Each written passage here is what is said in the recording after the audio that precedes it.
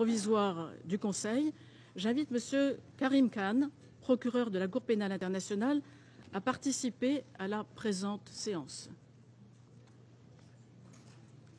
Il en est ainsi décidé.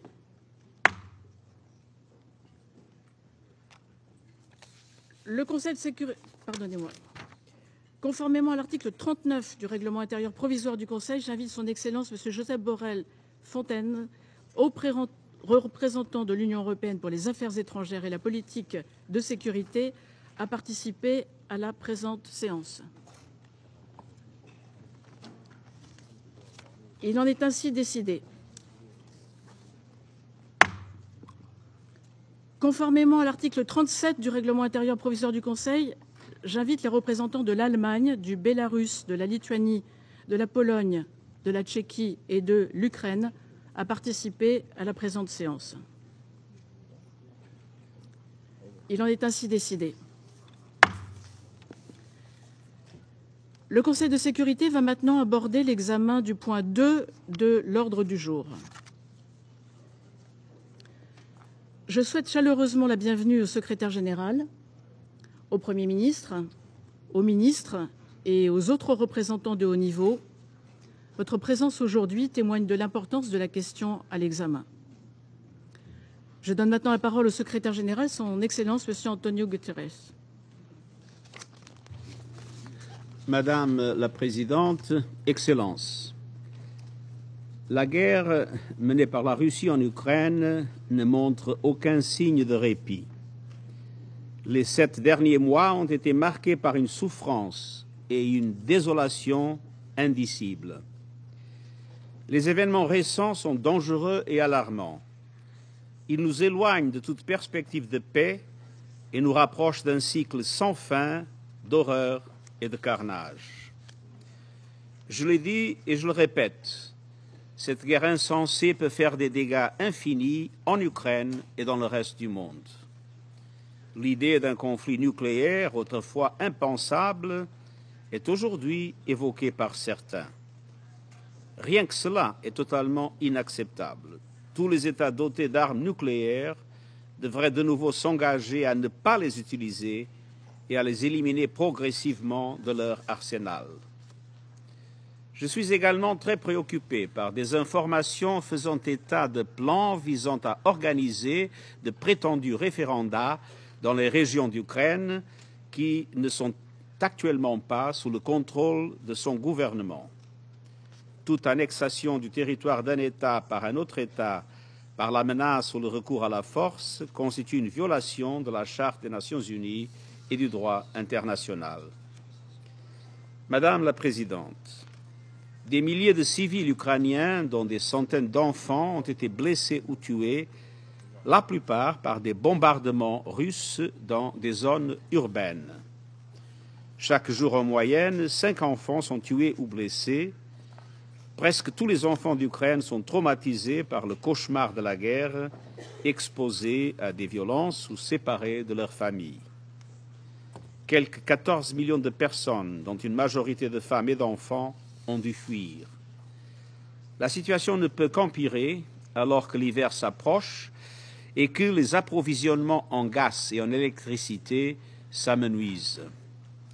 Au niveau mondial, ce conflit a provoqué une triple crise alimentaire, énergétique et financière qui a précipité des millions de personnes supplémentaires dans l'extrême pauvreté et la faim, réduisant à néant les années de progrès vers le développement et euh, étant ensuite des crises du Covid et de l'impact croissant du changement climatique. Les dommages collatéraux de cette guerre se font sentir dans des dizaines de pays en développement qui peinaient déjà à se relever de la pandémie du Covid-19 et à faire face à la crise climatique. Les plus vulnérables sont les premiers touchés.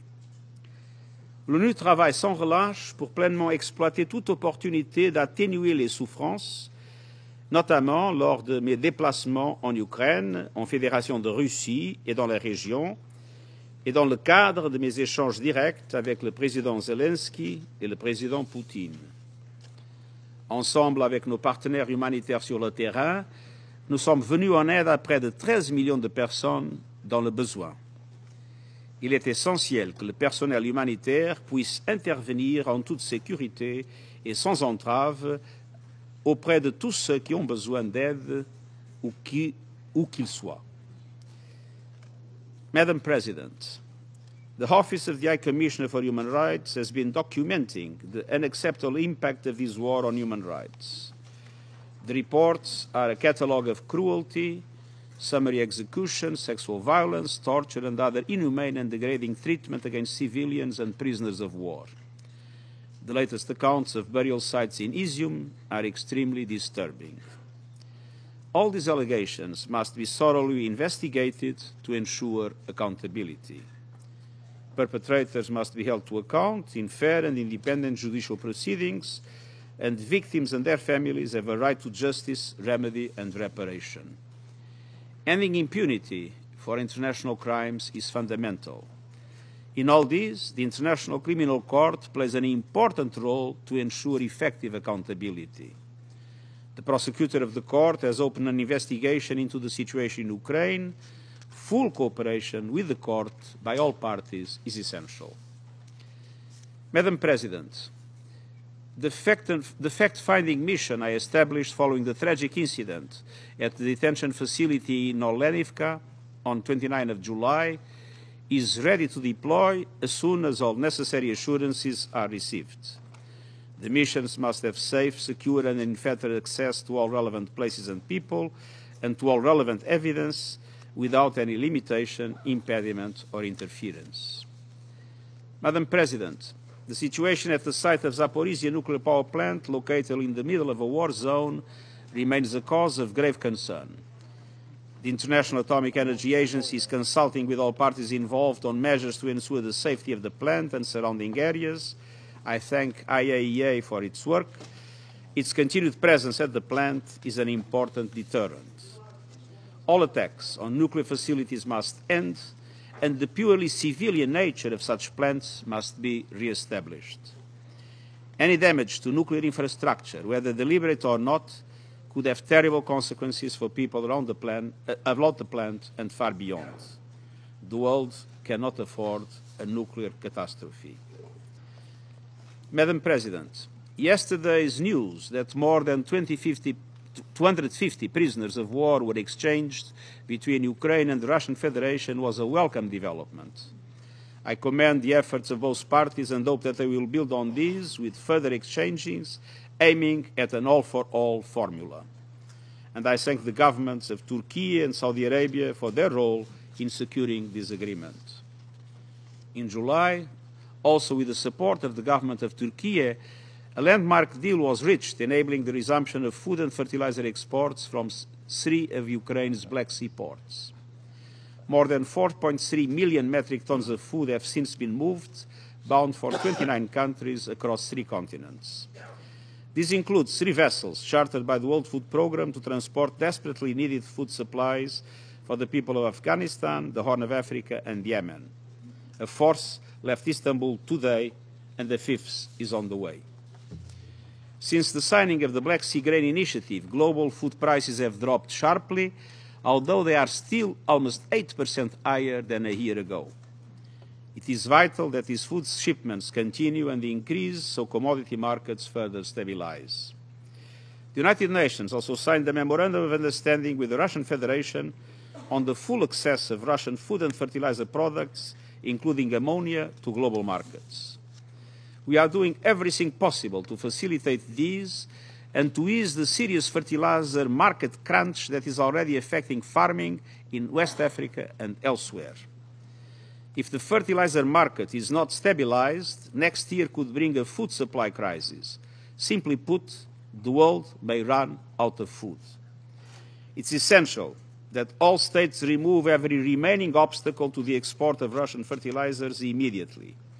We need to get them to farmers at a reasonable cost and onto fields as soon as possible. Another major concern is the impact of high gas prices on the production of nitrogen fertilizers and these must also be addressed without delay.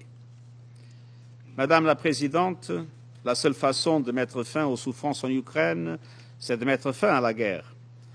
Je continuerai de faire tout mon possible pour la paix, une paix fondée sur le respect du droit international et de la Charte des Nations Unies.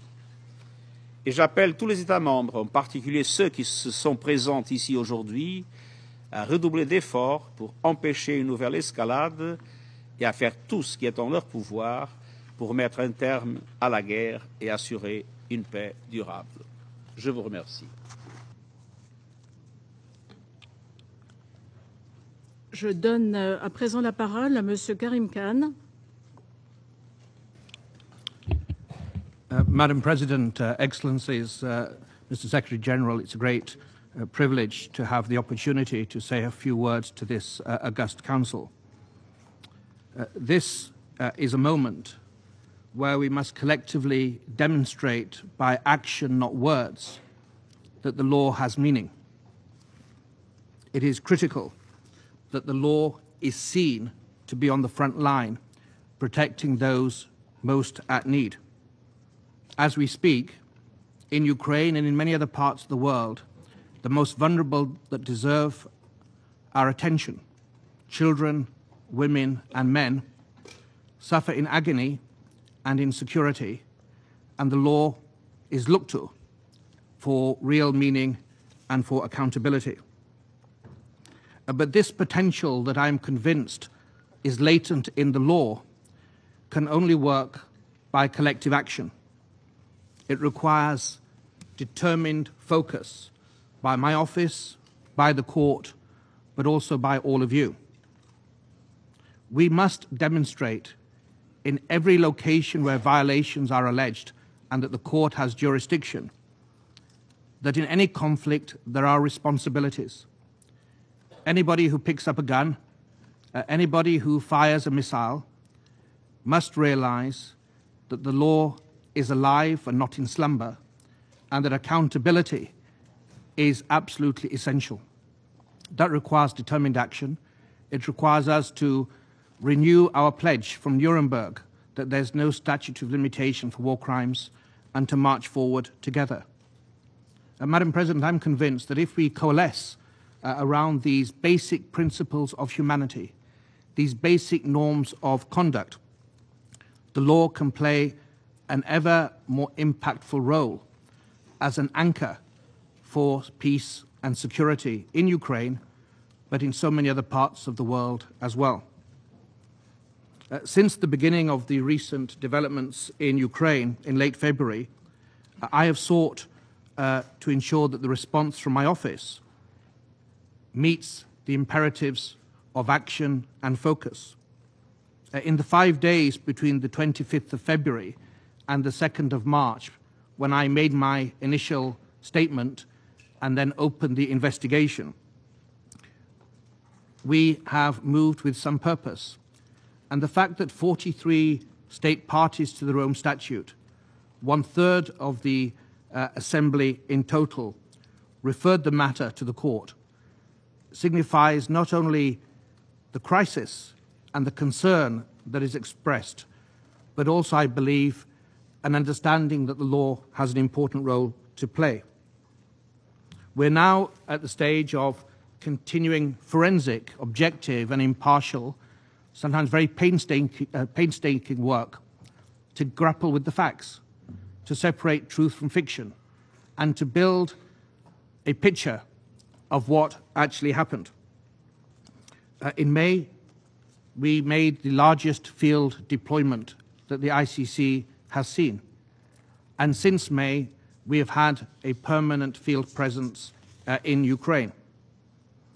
I can announce that next week, further members uh, of my office will also deploy to Ukraine to look in relation to allegations emerging from the east of the country. And building partnerships embracing innovation takes many forms.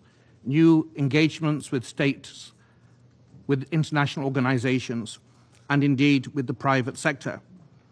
Hopefully this new model of a more coordinated, more effective partnership, a more coherent approach for action will render this collective responsibility more effective. But the process uh, of accountability uh, of collecting evidence and sieving it and weighing it and determining what is shown uh, is not simply an academic exercise. It is critical in order to pierce the fog of war, to actually present in a juridical forum the truth. And luckily, we have independent judges, and when we have done our job, we will in due course present matters to the independent judges uh, of the ICC, and they will further scrutinize our work very properly and decide where the truth lies. And this exercise is essential if we're to have confidence in the rules based system. This function and this alone is the focus of my office. It's not a tool of politics, it's not driven by any other agenda than our obligations that are eloquently espoused in the Rome Statute and are underpinned with great eloquence in the Charter of the United Nations that created this august body that I have the privilege to sit in today. Through this work, a picture will emerge. And the picture that I've seen so far is troubling indeed. I have been uh, to Ukraine uh, three times, and one has seen a variety of destruction, of suffering, and harm that fortifies my determination and my previous finding that there are reasonable grounds to believe that crimes within the jurisdiction of the court uh, have been committed. Uh, and if I may, Madam President, be quite direct. Uh, when I went to Bucha and went behind St. Andrew's Church, the bodies I saw were not fake. When I walked the streets, streets of Borodianka, the destruction that I saw of buildings and schools was all too real. Uh, and when I left Kharkiv, the bombs I heard land gave a very somber insight and a very small insight into the awful reality that is faced by many of our brothers and sisters and children that are in a war zone. I am deeply concerned regarding the allegations and the information we are seeing regarding what appeared to be uh, reasonable grounds to believe intentional targeting of civilian objects, uh, and also the transfer of populations from Ukraine outside particularly children. These are priorities that we are focusing on. But our task collectively is to ensure that those responsible for any crimes that may have been committed, for any uh, decisions that judges of the ICC may make, realize today, in real time, that they're masters of their own destiny. They have the choice and indeed the unambiguous uh, responsibilities to act proportionately, to honor the principle of distinction, and to take all means necessary to make sure civilians and civilian objects are not targeted. Uh, justice, as I've said, is not political. Uh, it is a vindication of the fundamental rights of all members of humanity. And it's a demonstration of promises that underpin the Charter uh, and the Rome Statute. Uh, and in my view, the echoes of Nuremberg should be heard today. The failure to uphold the promises of Nuremberg that we have seen over the last many decades should act as a reproach on all of us. But leaders, not to despair or to despondency, but act as a catalyst for further action to regalvanize us as a council, as international organizations, and as humanity to finally, for goodness sake, to come of age and plag, plant more firmly the flag of legality on the international landscape. So today, all I can do is recommit to my obligations and my oath as prosecutor of the ICC to do everything I can to engage with all international partner states, the United Nations, other international organizations to investigate cases within our jurisdiction in Ukraine and beyond. Uh, the responsibilities that I hold and the much more powerful, much more relevant, and much wider responsibilities that you hold demand no less than we meet the challenges of today we must demonstrate the resolve and the determination and the principle in order not to disappoint and fail those that are in most need of the law as we speak. Thank you so much.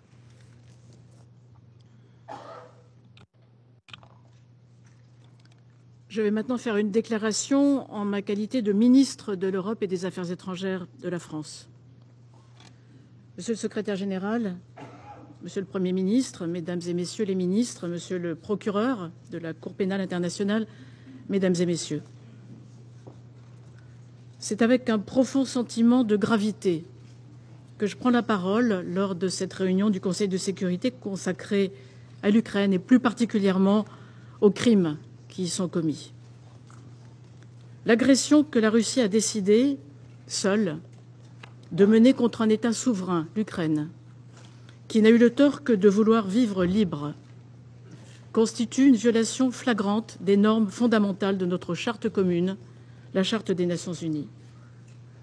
Le non-recours à la force, le règlement pacifique des différends, le respect de la souveraineté des États et de leur intégrité territoriale sont des principes auxquels nous avons tous souscrit autour de la table de ce Conseil. Ils ont été, chacun d'entre eux, ouvertement violés. La guerre qui a débuté le 24 février dernier s'accompagne aussi d'exactions et de destruction d'objectifs civils. Il s'agit d'autant de violations des lois de la guerre et d'autant d'actes dont il faudra rendre compte. À et dans tant d'autres lieux, des crimes insoutenables ont été perpétrés. La libération d'Izium s'accompagne, elle aussi, de la découverte de nouvelles atrocités commises par les tortionnaires. Alors, le message de la France aujourd'hui est simple. La justice doit être notre impératif commun. Il n'y aura pas de paix sans justice.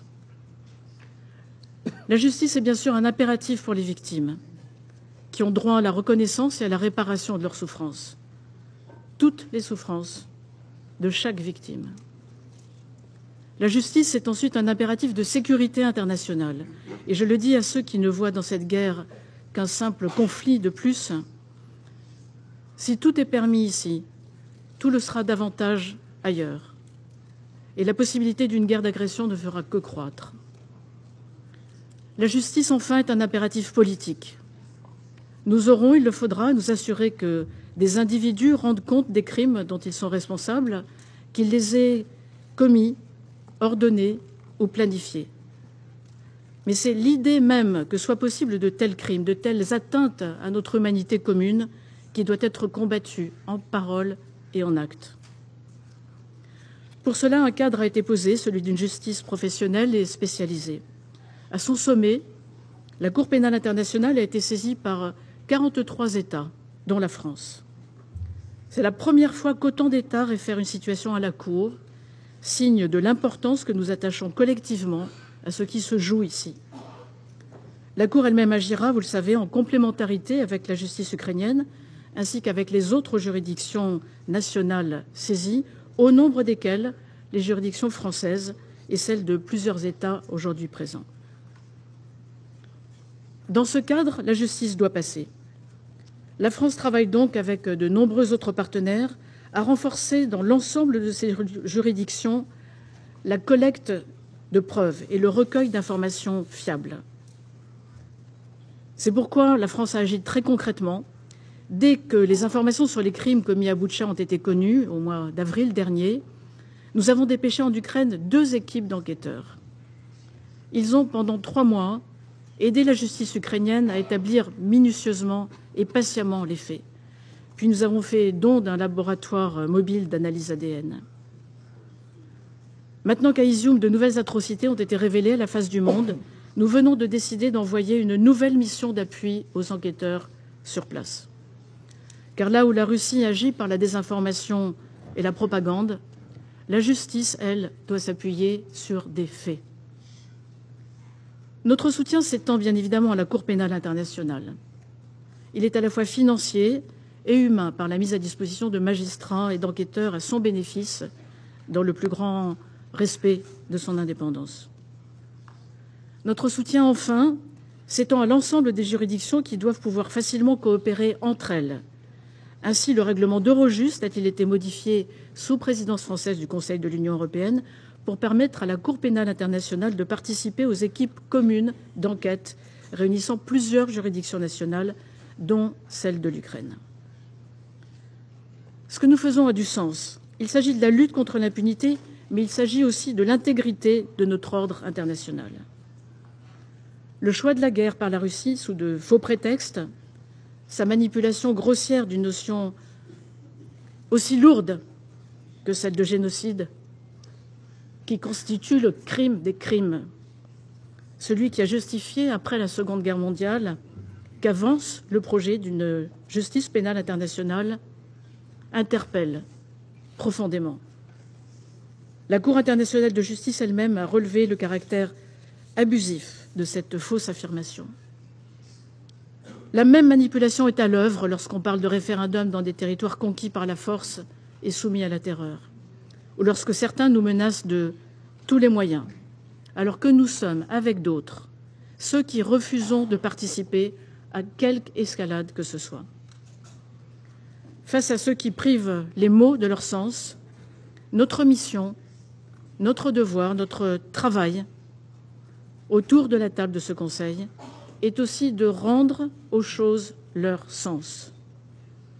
je voudrais pour conclure citer un auteur russe. Nous devons condamner publiquement l'idée même que des hommes puissent exercer pareille violence sur d'autres hommes. En taisant le vice, en l'enfouissant dans notre corps pour qu'il ne ressorte pas à l'extérieur, nous le semons. Et dans l'avenir, il n'en donnera que mille fois plus de pouces. En écrivant ces lignes, Solzhenitsyn se référait aux décennies de crimes commis par l'URSS sur son propre territoire. Hélas, il n'y a pas un mot à en retrancher pour décrire les crimes commis aujourd'hui par la Russie hors de ses frontières. La Cour enquête sur des faits pouvant être, selon son procureur, constitutifs de crimes de guerre et de crimes contre l'humanité. Nous verrons ses conclusions mais dès aujourd'hui, nous pouvons et devons dire que leurs responsables seront identifiés, poursuivis et, in fine, jugés. Le temps peut paraître long pour les victimes et leurs familles, mais elles doivent avoir la certitude qu'ils ne resteront pas impunis. Nous le leur devons. Et il n'en va pas seulement de ce que nous leur devons, il en va de notre sécurité et il en va aussi des principes universels qui nous lient. Je vous remercie. Et je reprends mes fonctions de présidente du Conseil et donne la parole à son Excellence Monsieur Jonas Gahr Støre, Premier ministre de la Norvège. Madame la Présidente, je vous remercie. Secretary General and Prosecutor uh, Karim Khan, thank you for your briefings. This week here at the United Nations, I believe we have seen how we as a global community face dire challenges from war, climate change, energy shortage, food insecurity, and inequality. And we see how it is ordinary people who pay the heaviest price. Against this background, I believe it's our responsibility as members of the United Nations, and in particular we 15 around this table, to chart a different path one of hope and belief in what we can achieve together for our citizens and for humanity. The Secretary General underlined this eloquently in his address on Tuesday, and yet again today, we have the values and principles necessary to chart that course, and they are all enshrined in the Charter of the United Nations. Madam President, the Charter sets out clear principles for a rules-based international order, and sadly, this order is under attack. Russia's war of aggression against Ukraine constitutes a gross violation of international law, including the UN Charter, a violation of the core principle on which this organization is built, the sovereign equality of all its people and members. Madam President, I listened carefully to President Putin's speech yesterday, announcing a major escalation of this war, explained by a long list of allegations that Russia is being threatened from the West. Madam President, speaking for Norway, an elected member of this Council, a European state, a NATO member, and a neighbor to Russia, let me say as clearly as I can, these allegations are simply not true. There is no military threat against Russia. There is no legitimate reason whatsoever to underpin a massive mobilization of Russian troops.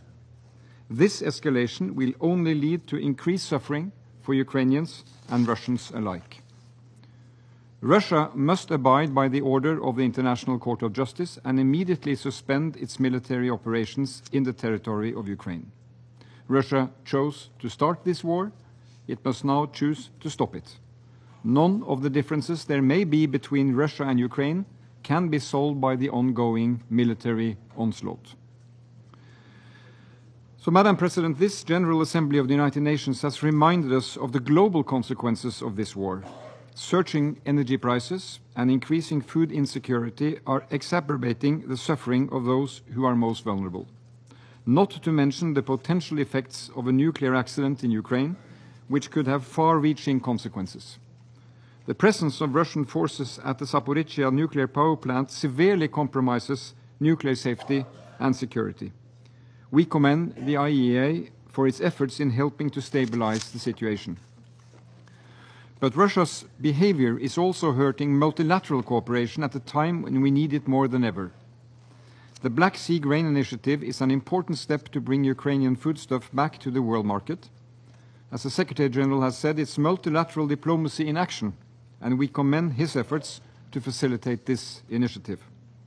Norway also expresses its full support for the Secretary General's goods offices. When the time comes, and it must come, we will stand firmly with the UN in the efforts to build and sustain peace. Madam President, in Ukraine, thousands of civilians, including children, have been killed. Millions have fled their countries, often separated from their loved ones. Many thousands have been welcomed in my country. May the day come, sooner rather than later, when they can return home safely to rebuild their country. The recent escalation of attacks on civilian targets is utterly unacceptable. Russia's indiscriminate use of heavy explosive weapons in destroying homes, schools, and hospitals. Unspeakable horrors were revealed in Bucha in March, and now in Izium and other places previously under occupation. Civilians have forcibly been transferred to Russia and Russian occupied territory. And there are disturbing reports of sexual violence being used as a tactic of war. This must be condemned in the strongest possible terms. Madam President, we also condemn the planned so-called referendums in the occupied regions of Ukraine. They would be contrary to international law, they would be a clear breach of the UN Charter, and they would have no legal standing and no legitimacy. They would in no way affect Ukraine's sovereignty within its international recognized borders. Let that be clear. Madam President, international law is not optional, and as the prosecutor said, justice is not political.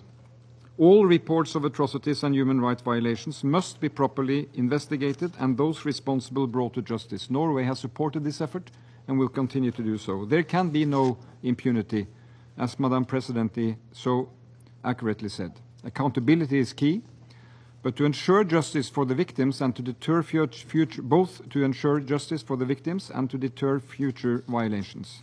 Perpetrators must be held to account through national or international criminal justice mechanisms. This is why we welcome the Commission of Inquiry on Ukraine established by the Human Rights Council, and Norway continues to fully support the International Criminal Court. The ICC's mission is crucial both in the context of Ukraine and globally. Madam President, let me end on this note. This war is a catastrophe for Ukraine and its people. Its ramifications have serious consequences for vulnerable people and communities all around the world. But let me say this, it is also detrimental to Russia itself, our neighbor. Thousands of Russian soldiers have been sent to their deaths in unnecessary and illegal war. Russian citizens are increasingly being denied human rights and fundamental freedoms in a society ruled with an even stronger authoritarian fist. If the Russian people and we know them, could freely express their views, would they have chosen war? I doubt it. So, Madam President, democracy, rule of law, and human rights are essential. They are our best tools for promoting peace between states and accountability at all levels. They are also what we have to build on when we turn our back on war and destruction. We must defend these norms and standards and the values that underpin them. And again, the core principles are enshrined in the Charter. Preventing and ending acts of aggression is a direct responsibility of the Security Council, and Norway will continue to use the remaining part of its elected period here to promote dialogue and a peaceful settlement and fair resolution to this meaningful, meaningless war.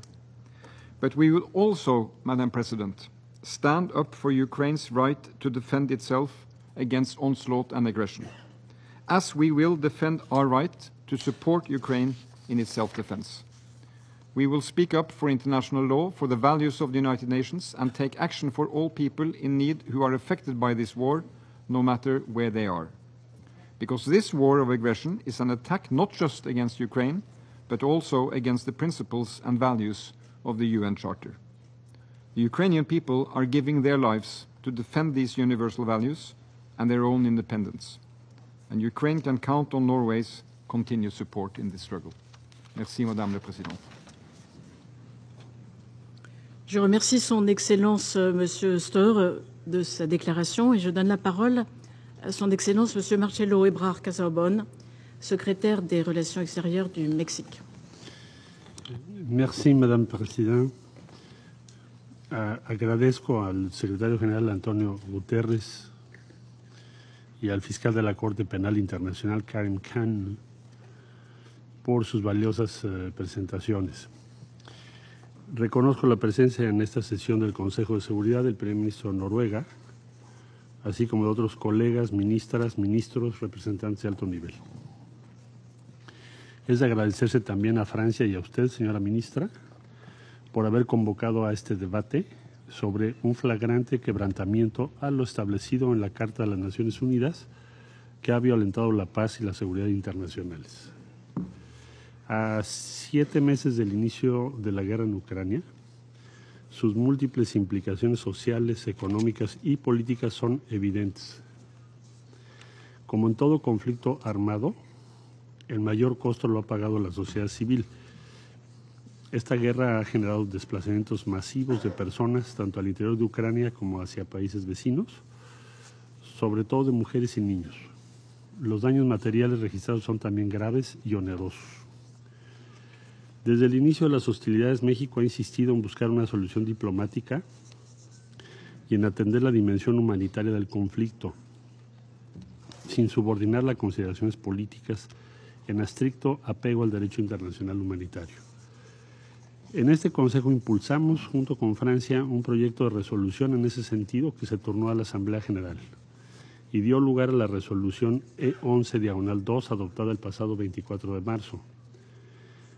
Hoy, hoy reiteramos que la asistencia humanitaria sigue siendo ineludible y prioritaria. Hemos procurado también, en la medida de nuestras posibilidades, apoyar las gestiones de mediación del secretario general y formulamos junto con Noruega una declaración presidencial con tal propósito, la cual se adoptó el pasado 6 de mayo es una declaración a todas luces insuficiente, pero la única expresión pública que este Consejo ha sido capaz de emitir desde el inicio del conflicto. El avance de la guerra con sus cuantiosos costos humanos y materiales y el incremento de las necesidades humanitarias derivadas del conflicto, tales como la insuficiencia humanitaria y el alto costo de los combustibles de cara al invierno, requiere con urgencia de una solución por la vía diplomática de un alto al fuego. Para ello se requiere voluntad política de las partes y compromiso de la comunidad internacional. Conviene insistir entonces en la necesidad de respetar el derecho internacional, el derecho internacional humanitario, el derecho internacional de los derechos humanos. La rendición de cuentas también es otro pilar fundamental del sistema multilateral, del Estado de Derecho y de la paz.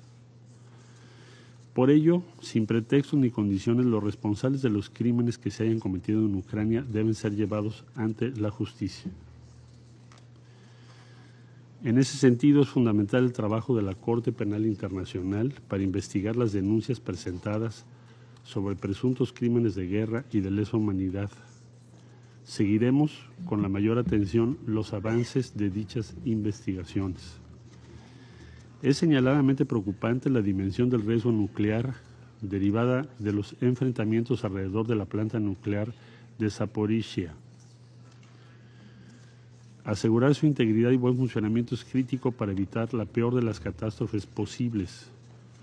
Respaldamos las recomendaciones formuladas por el Organismo Internacional de Energía Atómica tras su inspección técnica, las cuales deben ser acatadas de inmediato y apoyamos los llamados para crear un perímetro de seguridad alrededor de la planta. Finalmente, reconocemos el valor que representa la firma de la iniciativa de granos del Mar Negro. Los índices de la FAO muestran que los precios de los granos en los últimos dos meses han empezado a disminuir. Es una muestra del valor que tiene la diplomacia. Aún en medio de la guerra, el diálogo y los acuerdos son posibles. Esta es fundamental también poder garantizar el acceso de los fertilizantes a los mercados globales y nos alienta a saber que se han dado ya pasos concretos en esa dirección. Reconocemos ampliamente el liderazgo que ha tenido el secretario general de la ONU, así como el presidente de Turquía en la gestión de los acuerdos suscritos. Señora Presidenta, desde el inicio del conflicto, la posición de mi país se ha sustentado en nuestros principios constitucionales de política exterior, los cuales están en consonancia con los principios y propósitos de la Carta de las Naciones Unidas. Señaladamente, la no intervención, la solución pacífica de las controversias y la proscripción de la amenaza o el uso de la fuerza. No hay espacio para la ambigüedad la coexistencia pacífica de los estados depende precisamente del respeto de todos ellos, no puede haber excepciones. En estos meses hemos sido claros al reiterar la importancia del artículo 2 de la Carta de la ONU relativo a la proscripción del uso de la fuerza contra la integridad territorial e independencia política de cualquier Estado. Por experiencia propia, México conoce y entiende bien la importancia de contar con la garantía básica de poder vivir sin la amenaza de ser invadido por otro país. Cualquier acción que violente ese principio es ilegal y es ilegítima. Es propósito de esta organización y mandato de este Consejo prevenir que las personas sufran de los flagelos de la guerra. Pero esto solo puede lograrse mediante el diálogo, la diplomacia y la construcción de canales políticos efectivos. No es admisible la indiferencia, como tampoco, tampoco lo es quedarse en el lamento de que hasta ahora en el caso que nos ocupa, el Consejo de Seguridad no haya sido capaz de cumplir con su responsabilidad esencial. Las causas por las que este Consejo se puede volver disfuncional son conocidas. Corregirlas depende de nosotros. Los tiempos son propicios para plantear con toda seriedad las reformas estructurales que se requieren para ello. Señora Presidenta, Sus Excelencias, con base en su vocación pacifista, México considera que la comunidad internacional debe canalizar ahora sus mejores esfuerzos para alcanzar la paz. En tal sentido es que me permito compartirles la propuesta del presidente de México, Andrés Manuel López Obrador, para fortalecer los esfuerzos de mediación del secretario general, Antonio Guterres, mediante la formación de un comité para el diálogo y la paz en Ucrania, con la participación de otros jefes de Estado y de Gobierno, incluidos de ser posible su excelencia Narendra Modi de la India y su santidad el Papa Francisco. El objetivo sería muy claro, generar nuevos mecanismos para el diálogo y crear espacios complementarios para la mediación que fomenten la confianza, reduzcan las tensiones y abran el camino hacia una paz duradera. La delegación de México proseguirá con las consultas necesarias con el único propósito de poder contribuir como un actor imparcial y de buena fe para generar un amplio respaldo a las gestiones de mediación que encabeza el secretario general, así como el comité mencionado, cuya conformación esperamos proceda con el respaldo de los Estados miembros de la ONU que así lo decidan. Como lo ha dicho el señor secretario general, es tiempo de actuar, comprometerse con la paz. Resignarse a la guerra es siempre ir al precipicio. Muchas gracias. Je remercie Son Excellence M. Ebrard Casarbonne et je donne la parole à Son Excellence M. Anthony Blinken, secrétaire d'État des États-Unis d'Amérique. Merci euh, beaucoup, Madame la Présidente, d'avoir euh, réuni ce Conseil en ce moment grave sur la crise créée par la Russie en Ukraine.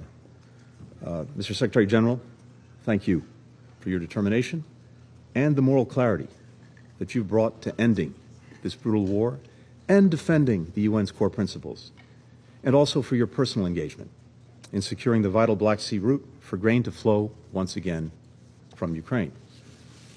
Uh, Mr. Khan, we're grateful uh, for the efforts of the Office of the Prosecutor to investigate objectively and professionally the atrocities being committed in Ukraine by Russian forces and for its support for and coordination with Ukrainian investigators and prosecutors.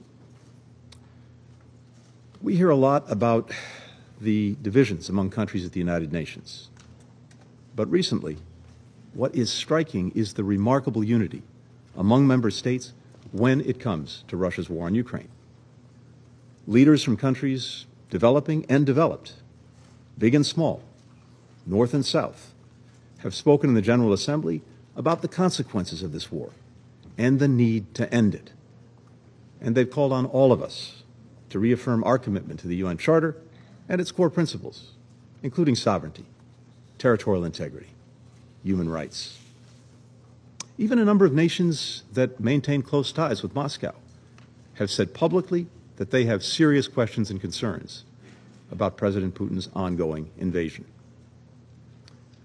Rather than change course, however, President Putin has doubled down, choosing not to end the war, but to expand it, not to pull troops back, but to call 300,000 additional troops up, not to ease tensions, but to escalate them through the threat of nuclear weapons, not to work toward a diplomatic solution, but to render such a solution impossible by seeking to annex more Ukrainian territory through sham referenda. That President Putin picked this week, as most of the world gathers at the United Nations, to add fuel to the fire that he started, shows his utter contempt for the UN Charter, for the General Assembly, and for this Council. The very international order that we have gathered here to uphold is being shredded before our eyes. We cannot, we will not allow President Putin to get away with it. Defending Ukraine's sovereignty and territorial integrity is about much more than standing up for one nation's right to choose its own path, fundamental as that right is. It's also about protecting an international order where no nation can redraw the borders of another by force. If we fail to defend this principle when the Kremlin is so flagrantly violating it, we send a message to aggressors everywhere that they can ignore it too. We put every country at risk. We open the door to a less secure, a less peaceful world. We see what that world looks like in the parts of Ukraine controlled by Russian forces. Wherever the Russian tide recedes, we discover the horror that's left in its wake. I had a window into that horror myself when I traveled to Irpin just a few weeks ago to meet with the Ukrainian investigators who were compiling evidence of war crimes committed there. I saw up close the gaping holes left in residential buildings by Russian shelling, indiscriminate at best, intentional at worst. As we assemble here, Ukrainian and international investigators continue to exhume bodies outside of Izium a city Russian forces controlled for six months before they were driven out by Ukrainian counteroffensive. One site contains some 440 unmarked graves. A number of the bodies unearthed there so far reportedly show signs of torture, including one victim with broken arms and a rope around his neck. Survivors' accounts are also emerging, including a man who described being tortured by Russian forces for a dozen days, during which his interrogators repeatedly electrocuted him and, in his words, and I quote, beat me to the point where I didn't feel anything, end quote. These are not the acts of rogue units.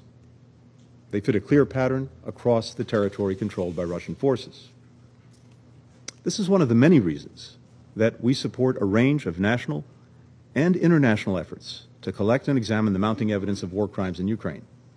We must hold the perpetrators accountable for these crimes. It's also one of the reasons why more than 40 nations have come together to help the Ukrainian people defend themselves a right that is enshrined in Article 51 of the United Nations Charter. The more setbacks Russian forces endure on the battlefield, the greater the pain they are inflicting on Ukrainian civilians.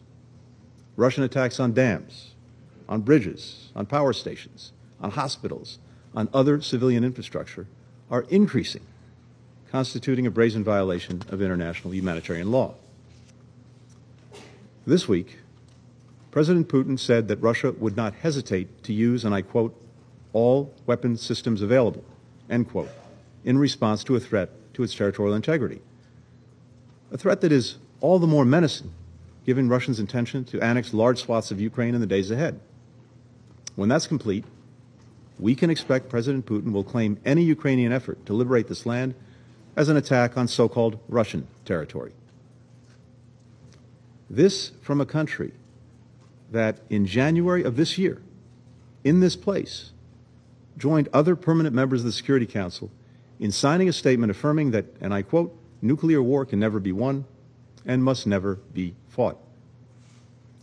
Yet another example of how Russia violates the commitments it's made before this body, and yet another reason why nobody should take Russia at its word today. Every council member should send a clear message that these reckless nuclear threats must stop immediately. Russia's effort to annex more Ukrainian territory is another dangerous escalation, as well as a repudiation of diplomacy. It is even more alarming when coupled with the filtration operation that Russian forces have been carrying out across parts of Ukraine that they control. Now, this is a diabolical strategy, violently uprooting thousands of Ukrainians, bus in Russians to replace them, call a vote, manipulate the results to show near unanimous support for joining the Russian Federation. This is right out of the Crimea playbook. As with Crimea, it's imperative that every member of this Council, and for that matter, every member of the United Nations, reject these sham referenda and unequivocally declare that all Ukrainian territory is and will remain part of Ukraine. And no Russian claim to annex territory can take away Ukraine's right to defend its own land. Putin's invasion is also distracting this Council. In fact, the entire UN system from working on the serious issues that we all want to focus on, like preventing a climate catastrophe, aiding tens of millions of people on the brink of famine, fulfilling the 2030 Agenda for Sustainable Development, shoring up our interconnected health security. All issues that make a tangible difference in the lives of the citizens that we are here to represent and that they are looking to us, looking to us to deliver on. The overwhelming majority of UN member states are committed to working together on these issues, and our actions show that. Yet, while more than 100 countries have signed on to a roadmap to provide food aid to those who need it, and partners across Africa, Asia, the Americas, and Europe are working together to increase the resilience of global food systems, Russia for months blocked the export of Ukrainian grain to the world until the United Nations and Turkey secured a deal to let the grain go. And Russia continues to bomb and seize Ukrainian farms and silos, line its wheat fields with landmines, raising the cost of food for people everywhere. And while governments around the world are teaming up with international organizations, with the private sector, with philanthropies, to end this pandemic and make sure that we're better prepared for the next one, Russia is spreading misinformation and disinformation about WHO approved vaccines, fueling vaccine hesitancy that puts people in all our countries at greater risk. Here's the reality. None of us chose this war, not the Ukrainians, who knew the crushing toll it would take, not the United States, which warned that it was coming and worked to prevent it, not the vast majority of countries at the United Nations, and neither did our people or the people of virtually every UN member state who are feeling the war's consequences in greater food insecurity and higher energy prices. Nor did the Russian mothers and fathers whose children are being sent off to fight and die in this war, or the Russian citizens who continue to risk their freedom to protest against it, including those who came out into the streets of Moscow after President Putin announced his mobilization to chant, Let our children live. Indeed, it must be asked how has this aggression against Ukraine by President Putin improved the lives or prospects of a single Russian citizen? One man chose this war.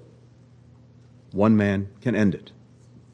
Because if Russia stops fighting, the war ends. If Ukraine stops fighting, Ukraine ends. That's why we will continue to support Ukraine as it defends itself and strengthen its hand to achieve a diplomatic solution on just terms at a negotiating table. As President Zelensky has said repeatedly, diplomacy is the only way to end this war.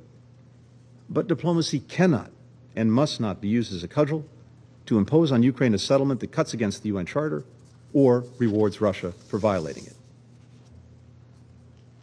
President Putin is making his choice. Now, it's up to all of our countries to make ours. Tell President Putin to stop the horror that he started. Tell him to stop putting his interests above the interests of the rest of the world, including his own people. Tell him to stop debasing this council and everything it stands for. We, the people of the United Nations, determined. That is how the preamble of the UN Charter starts. Let's not forget that we, the peoples, still get to choose the fate of this institution and our world. The stakes are clear. The choice is ours. Let's make the right choice for the world that we want and that our people so desperately deserve. Thank you. Je remercie Son Excellence euh, Monsieur Blinken de sa déclaration et je donne la parole à Son Excellence Monsieur Wang Yi, conseiller d'État et ministre des Affaires étrangères de la Chine.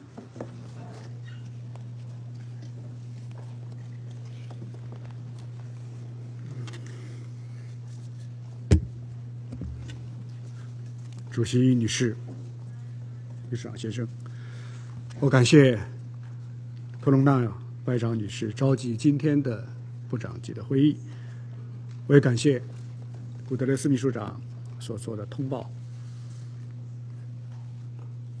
中国在乌克兰问题上的立场是一贯的，也是明确的。习近平主席指出，各国的主权、领土完整。都应该得到尊重。联合国宪章的宗旨和原则都应该得到遵守。各国的合理安全关切都应该得到重视。一切有利于解决危机的努力都应该得到支持。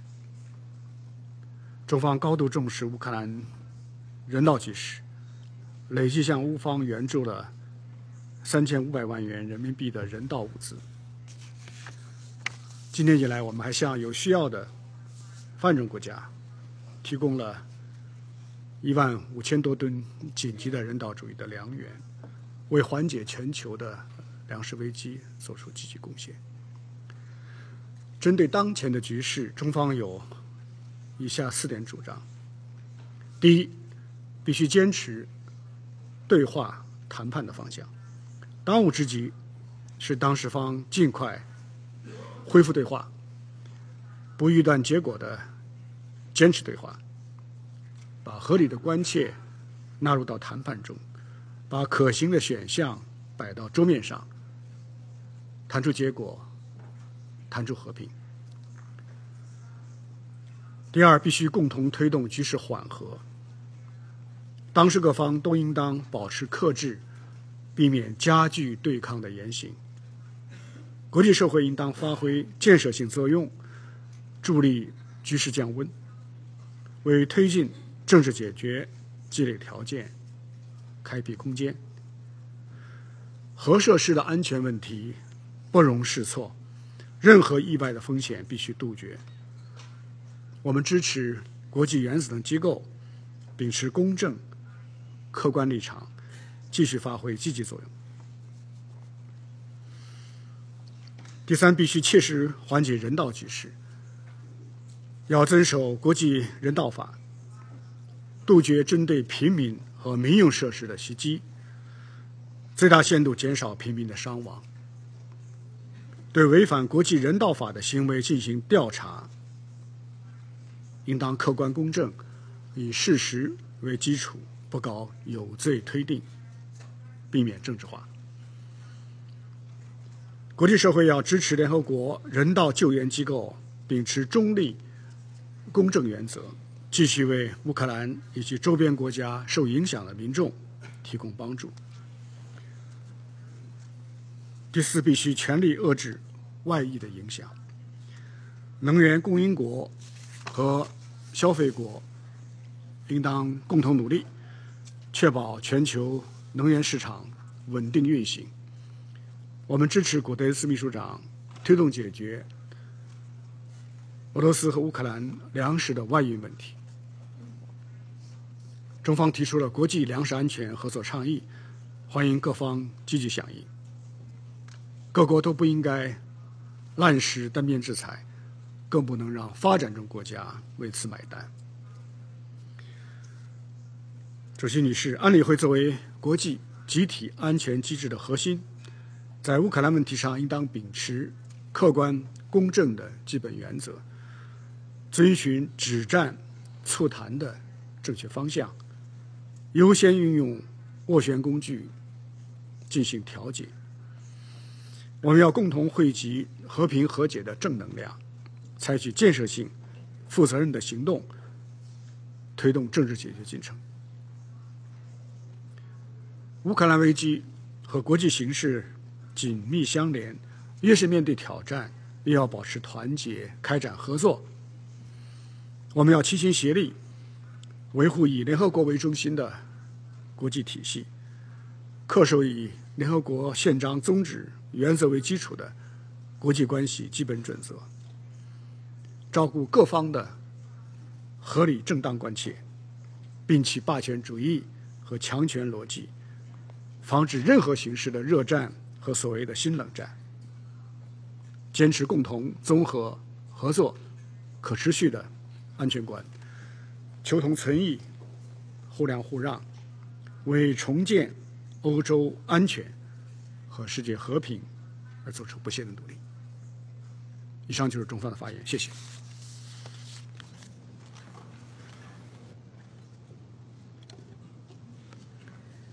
Je remercie Son Excellence Monsieur Wang de sa déclaration et je donne la parole à Son Excellence Madame Olta Jashka, ministre de l'Europe et des Affaires étrangères de l'Albanie.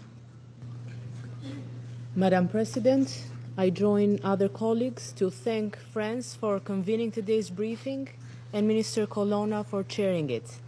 This issue has been without interruption on the agenda of the Council, but this meeting could not be timelier given the latest escalatory declarations by Kremlin. I also welcome the decision of the French presidency of the Council to continue keeping the focus on accountability, an issue of the utmost importance uh, that we initiated together back in April with the Arria formula meeting that Albania and France organized jointly. I also thank ICC Prosecutor General Khan for his information and his tireless efforts to establish accountability in Ukraine. Madam President, the Russian Federation, a permanent member of the Security Council, has waged an illegal war of aggression against Ukraine. In our judgment and in the eyes of the entire world, as clearly expressed more than once here in the United Nations, Russia's actions are a blatant violation of the Charter of the United Nations. Let's not forget that the highest international justice body, the International Court of Justice, has ordered Russia to suspend its military operation in Ukraine. International law is the same and mandatory for all. Russia has unfortunately chosen to openly and continuously ignore it. The very principle and belief upon which the UN was founded was that the only way to prevent war was through universal norms and laws accepted by all in the, post, in the new post-World War II order. In the decades since, despite the challenges and difficulties, we have all managed to strengthen and expand the reach of international law and multilateral cooperation and we have agreed that no one can stand above the law. We had hoped that the world would never again go back to that distant past, but the war in Ukraine and Russia's flagrant attempt to conquer and annex parts of Ukraine's territory are actions reminiscent of the dark days of fascism and Stalinism. And there is much more in what is happening in Ukraine today that is reminiscent of those dark days. Reports and fact finding missions from the ground, footage the whole world has seen reveal a basic truth about Russia's actions an appalling criminal brutality against the civilian population. Innocent men, women, and children in Ukraine, as well as tens of thousands of Russian soldiers, have paid with their lives for Vladimir Putin's war, war of choice. Millions around the world are going hungry because of Vladimir Putin's uh, war of choice. We condemn Russia's new path of confrontation by announcing a partial mobilization in Russia, by supporting the organization of illegal referenda in four Ukrainian territories currently occupied, and by threatening again with the use of weapons of mass destruction. These sham referenda are another blatant violation of the independence, sovereignty, and territorial integrity of Ukraine and a serious violation of the UN Charter. We reiterate our one unwavering support for Ukraine's independence, sovereignty, and territorial integrity, and reiterate our call for Russia to completely and unconditionally withdraw all of its troops and military equipment from the entire territory of Ukraine uh, within its internationally recognized borders. This is why we must galvanize our forces and continue to help Ukraine defend itself but that is why, too, we must work to guarantee full accountability for what Russia is doing in Ukraine. It is to provide justice, but this is also to prevent future atrocities. We all tried to prevent this conflict. We could not, but we must not fail to hold Russia accountable. Thank you. Je remercie Son Excellence Madame Jashkat de sa déclaration et je donne la parole à Son Excellence Monsieur Simon Coveney, ministre des Affaires étrangères et de la Défense de l'Irlande. Thank you, Madam President, uh, Secretary General Guterres. Uh, one week ago, I stood on the deck of a cargo ship in the port of Odessa, watching 46,000 tons of grain being loaded, bound for Bangladesh. That same day, the total amount of grain exported from Ukrainian ports through the Black Sea Grain Initiative had reached 3 million tons. Ukrainian and UN staff in Odessa spoke to me of their plans to reach 4 million tons of grain per month. Secretary General, as you have said so eloquently, those ships carry not just grain, but the rare commodity of hope and they represent something else too the power of multilateralism. In the midst of conflict, the UN and the government of Turkey negotiated a deal to get desperately needed grain out of Ukraine and onto world markets. This happened through dialogue, through using the systems and structures, the norms and institutions that we have painstakingly built over decades to resolve differences, to find solutions, and to deliver for our citizens. These are the principles and institutions that we, all of us around this table, have a solemn commitment to uphold. Madam President, let me recall another moment of hope. In January of this year, the leaders of the five nuclear weapons states, including Russia, declared that a nuclear war cannot be won and can never be fought.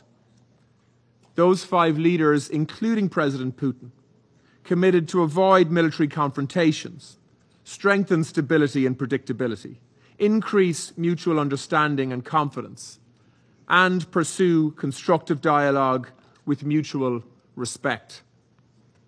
Just six weeks later, Russia launched an unwarranted and illegal further invasion of Ukraine. of another sovereign UN member state, of a neighbor.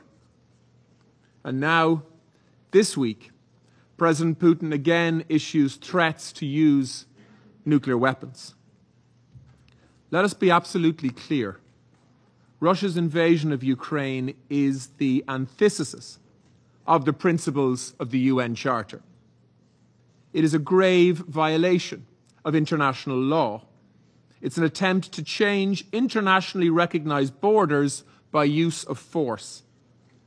And no sham referendums can change that basic fact.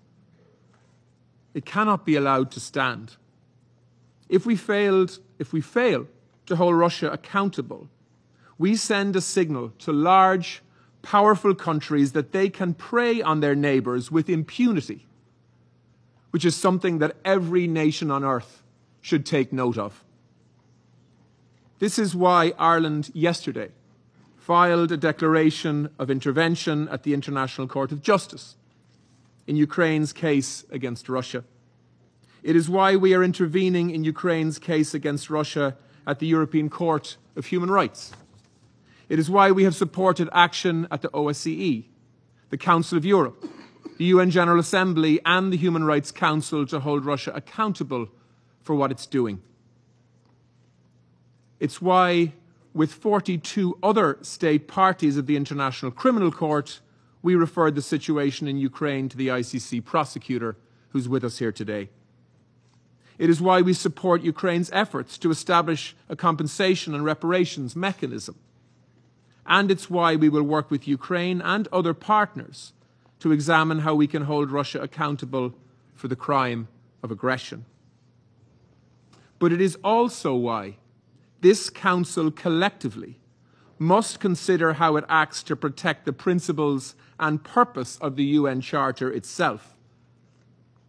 No one country, no matter how big or powerful, should have the ability to veto the application of international law for its own aims. Madam President, I said at this Council in April that without accountability, there is no hope for a sustainable peace.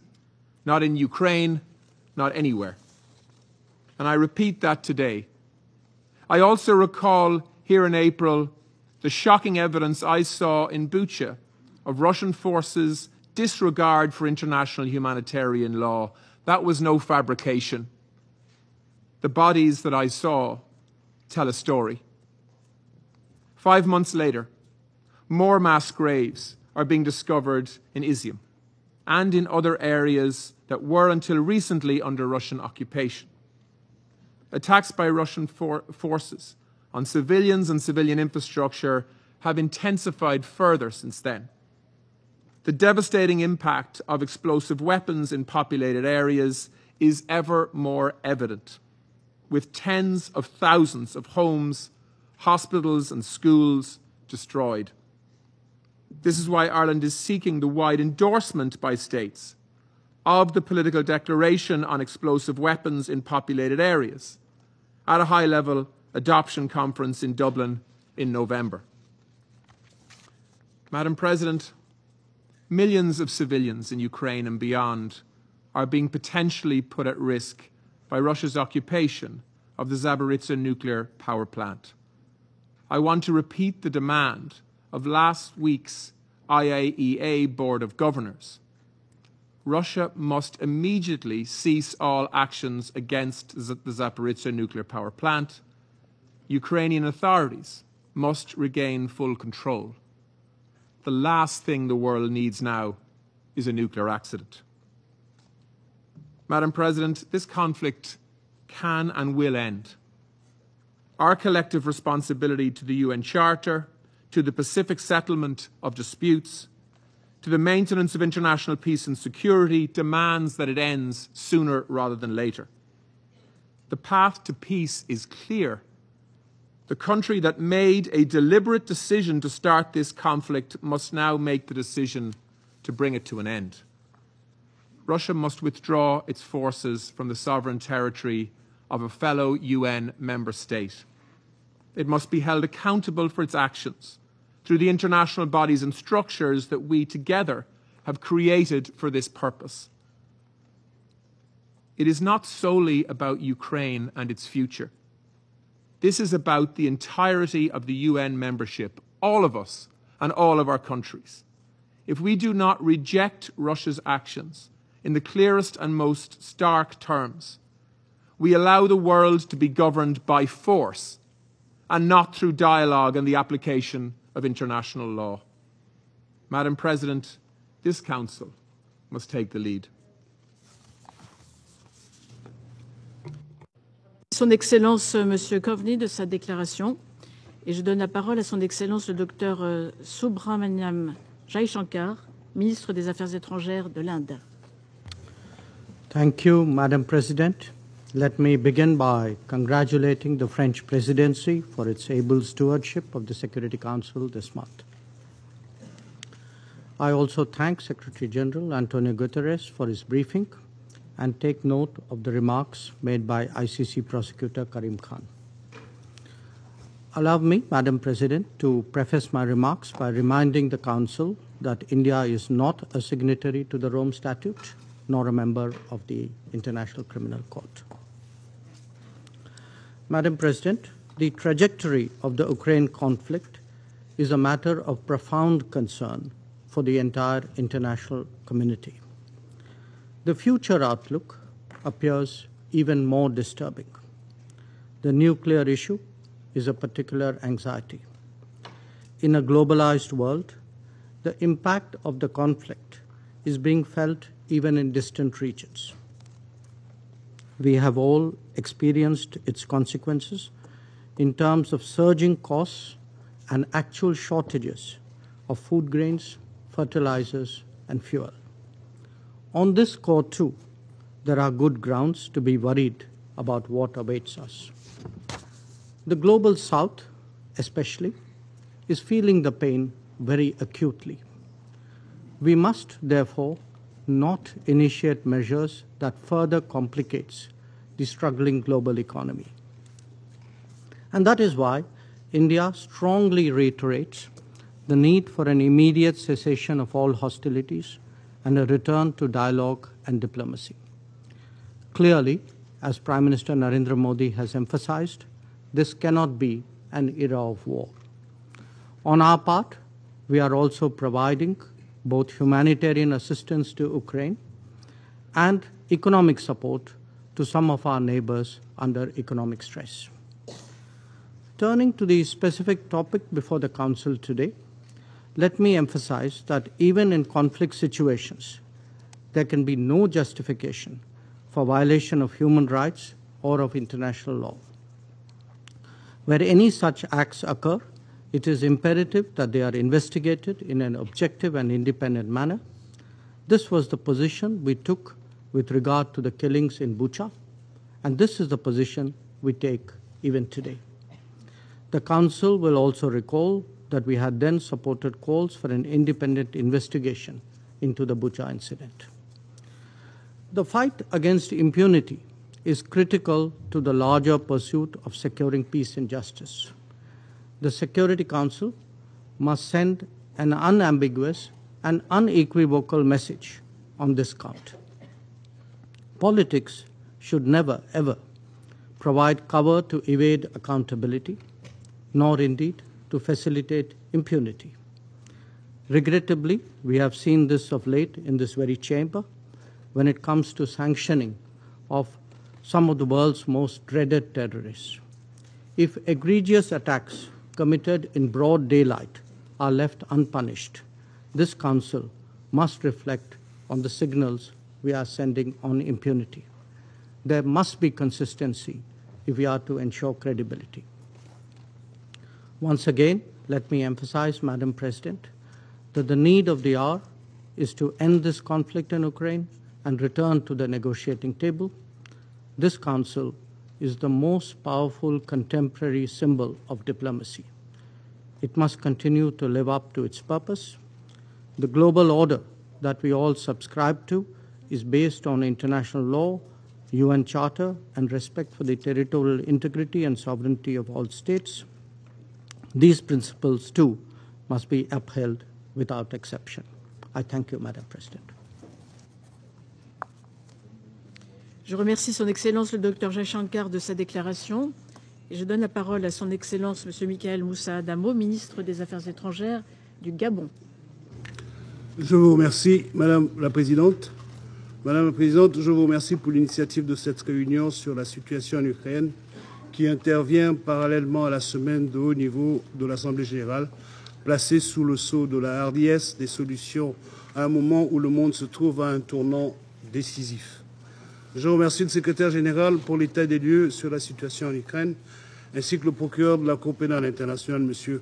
Karim Khan, pour son exposé. Madame la Présidente, l'humanité perd ses repères chaque fois qu'elle s'enlise dans la belligérance et échoue à protéger les civils des atrocités et de l'horreur. La guerre en Ukraine nous interpelle à plusieurs égards. Elle nous interpelle sur les victimes qui se comptent en milliers, sur les ruines des dévastations et la détresse des victimes meurtries. Elle nous interpelle sur la propagande, la désinformation ou la propension à la réécriture de la réalité. Elle nous interpelle sur la menace nucléaire et ses conséquences potentiellement irréparables. Elle nous interpelle aussi pour son nombre de, de chocs sur la sécurité alimentaire à l'échelle mondiale. Face à cette avalanche d'interpellations, les peuples du monde ont les yeux rivés vers ce Conseil pour une réponse aux défis multidimensionnels qui se dressent sur la trajectoire de leurs aspirations pour la paix et la sécurité internationale. Aux femmes, hommes et aux enfants qui redoutent une catastrophe nucléaire et se demandent à quand la fin de la guerre en Ukraine, nous devons une réponse. Notre réaction, Madame le Président, ne peut pas être un affrontement d'invectives. Nous devons être à la hauteur du mandat qui nous est assigné par la Charte des Nations Unies et de la confiance que les peuples du monde ont placée en cette organisation. Le Gabon, mon pays, milite pour un dialogue constructif afin de faire taire les armes. Nous sommes contre la guerre, contre les discours de haine, contre la rhétorique outrancière qui attise la belligérance et compromet les perspectives de paix. Madame la Présidente, mon pays note avec intérêt l'ouverture par la Cour pénale internationale d'enquête sur les crimes commis par toutes les parties dans la guerre en Ukraine en vue de collecter des éléments de preuve et pouvoir établir les faits ainsi que les responsabilités concernant les allégations de crimes de guerre et de crimes contre l'humanité. Aussi bien pour les allégations de massacres de masse, de disparitions et de déplacements forcés ou encore de déportation. La justice doit suivre son cours en toute transparence, en toute impartialité et en toute indépendance. Tous les mécanismes internationaux pertinents doivent être mis à profit pour que les auteurs d'atrocités puissent répondre de leurs actes devant la justice internationale. Le message de mon pays est clair. La guerre n'est pas un état de non-droit. Les parties au conflit doivent respecter les conventions internationales protégeant les civils et les infrastructures civiles en temps de guerre, notamment les conventions de Genève.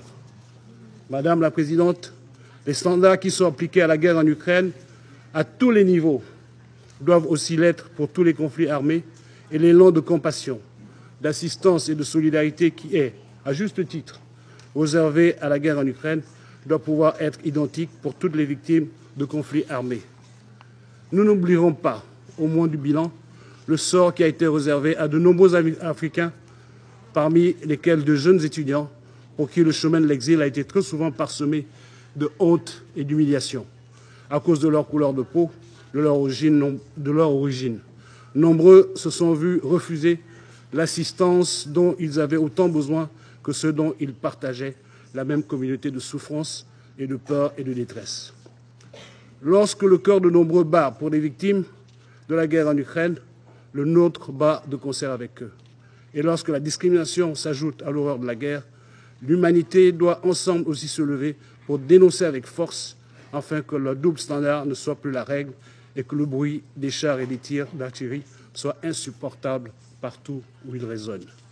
Madame la Présidente, il est urgent que la crise humanitaire consécutive à la guerre en Ukraine soit jugulée et que les effets soient rapidement circonscrits. Parier sur le temps, c'est prendre le risque de voir plus de personnes innocentes tomber sous les balles, plus d'infrastructures civiles détruites, plus de familles déstructurées et des milliers d'enfants orphelins de guerre. Pour terminer, mon pays appelle les partis à la négociation, au respect du droit humanitaire, au respect des principes de la Charte des Nations Unies. Nous soutenons toutes les initiatives qui ravive l'espoir d'une solution négociée en vue de mettre fin à la guerre. Je vous remercie. Je remercie Son Excellence M. Adamo de sa déclaration. Je donne la parole à Son Excellence M. Sergei Lavrov, ministre des Affaires étrangères de la Féдерация de Russie. Спасибо, уважаемый госпожа председатель, ваше превосходительство, коллеги. Как я понимаю, сегодняшнее заседание было мотивировано стремлением некоторых делегаций обсудить тему безнаказанности на Украине, и я считаю, что это весьма и весьма своевременно, потому что именно этот термин «безнаказанность» отражает то, что происходит в этой стране с 2014 года. Национал-радикальные силы, откровенные русофобы и неонацисты пришли тогда к власти в результате вооруженного переворота при прямой поддержке западных стран. И сразу после этого встали на путь правового беспредела и тотального игнорирования основных прав и свобод человека. Право на жизнь, свободу слова, доступ к информации, свободу выражения мнения, свободу совести, право на использование родного языка. До сих пор остаются безнаказанными преступления на Майдане в феврале 2014 года, не найдены и не наказаны виновные в чудовищной трагедии в Одессе 2 мая 2014 года, когда в местном доме профсоюзов были заживо сожжены и погибли около 50 человек. В этом же ряду политические убийства Олеси Бузины, Павла Шеремета, других общественных деятелей и журналистов. И несмотря на это, нам сегодня пытаются навязать совершенно иной нарратив про российскую агрессию как первичную а, причину а, всех бед. Игнорируя при этом то, что более восьми лет украинская армия и боевики националистических формирований безнаказанно убивали и убивают жителей Донбасса только потому, что они отказались признать результаты преступного, кровавого, антиконституционного госпереворота в Киеве. Решили отстаивать свои права, которые были гарантированы Конституцией Украины, в том числе право на свободное использование родного русского языка. Вспомните, как в 2015 году тогдашний премьер-министр Украины господин Яценюк заявил, что на Донбассе проживают не люди, а от него недалеко ушел нынешний президент господин Зеленский, который в очередном интервью в сентябре прошлого года, когда его спросили, что он думает о людях, живущих на Донбассе, он сказал, вы знаете, бывают люди, а бывают существа, особи. Это очень такая устойчивая а, характеристика украинского режима, как при Порошенко, так и при Зеленском. Они объявили всех несогласных с результатами госпереворота террористами. И 8 лет киевский режим проводит так называемую, проводил войсковую операцию против мирного населения.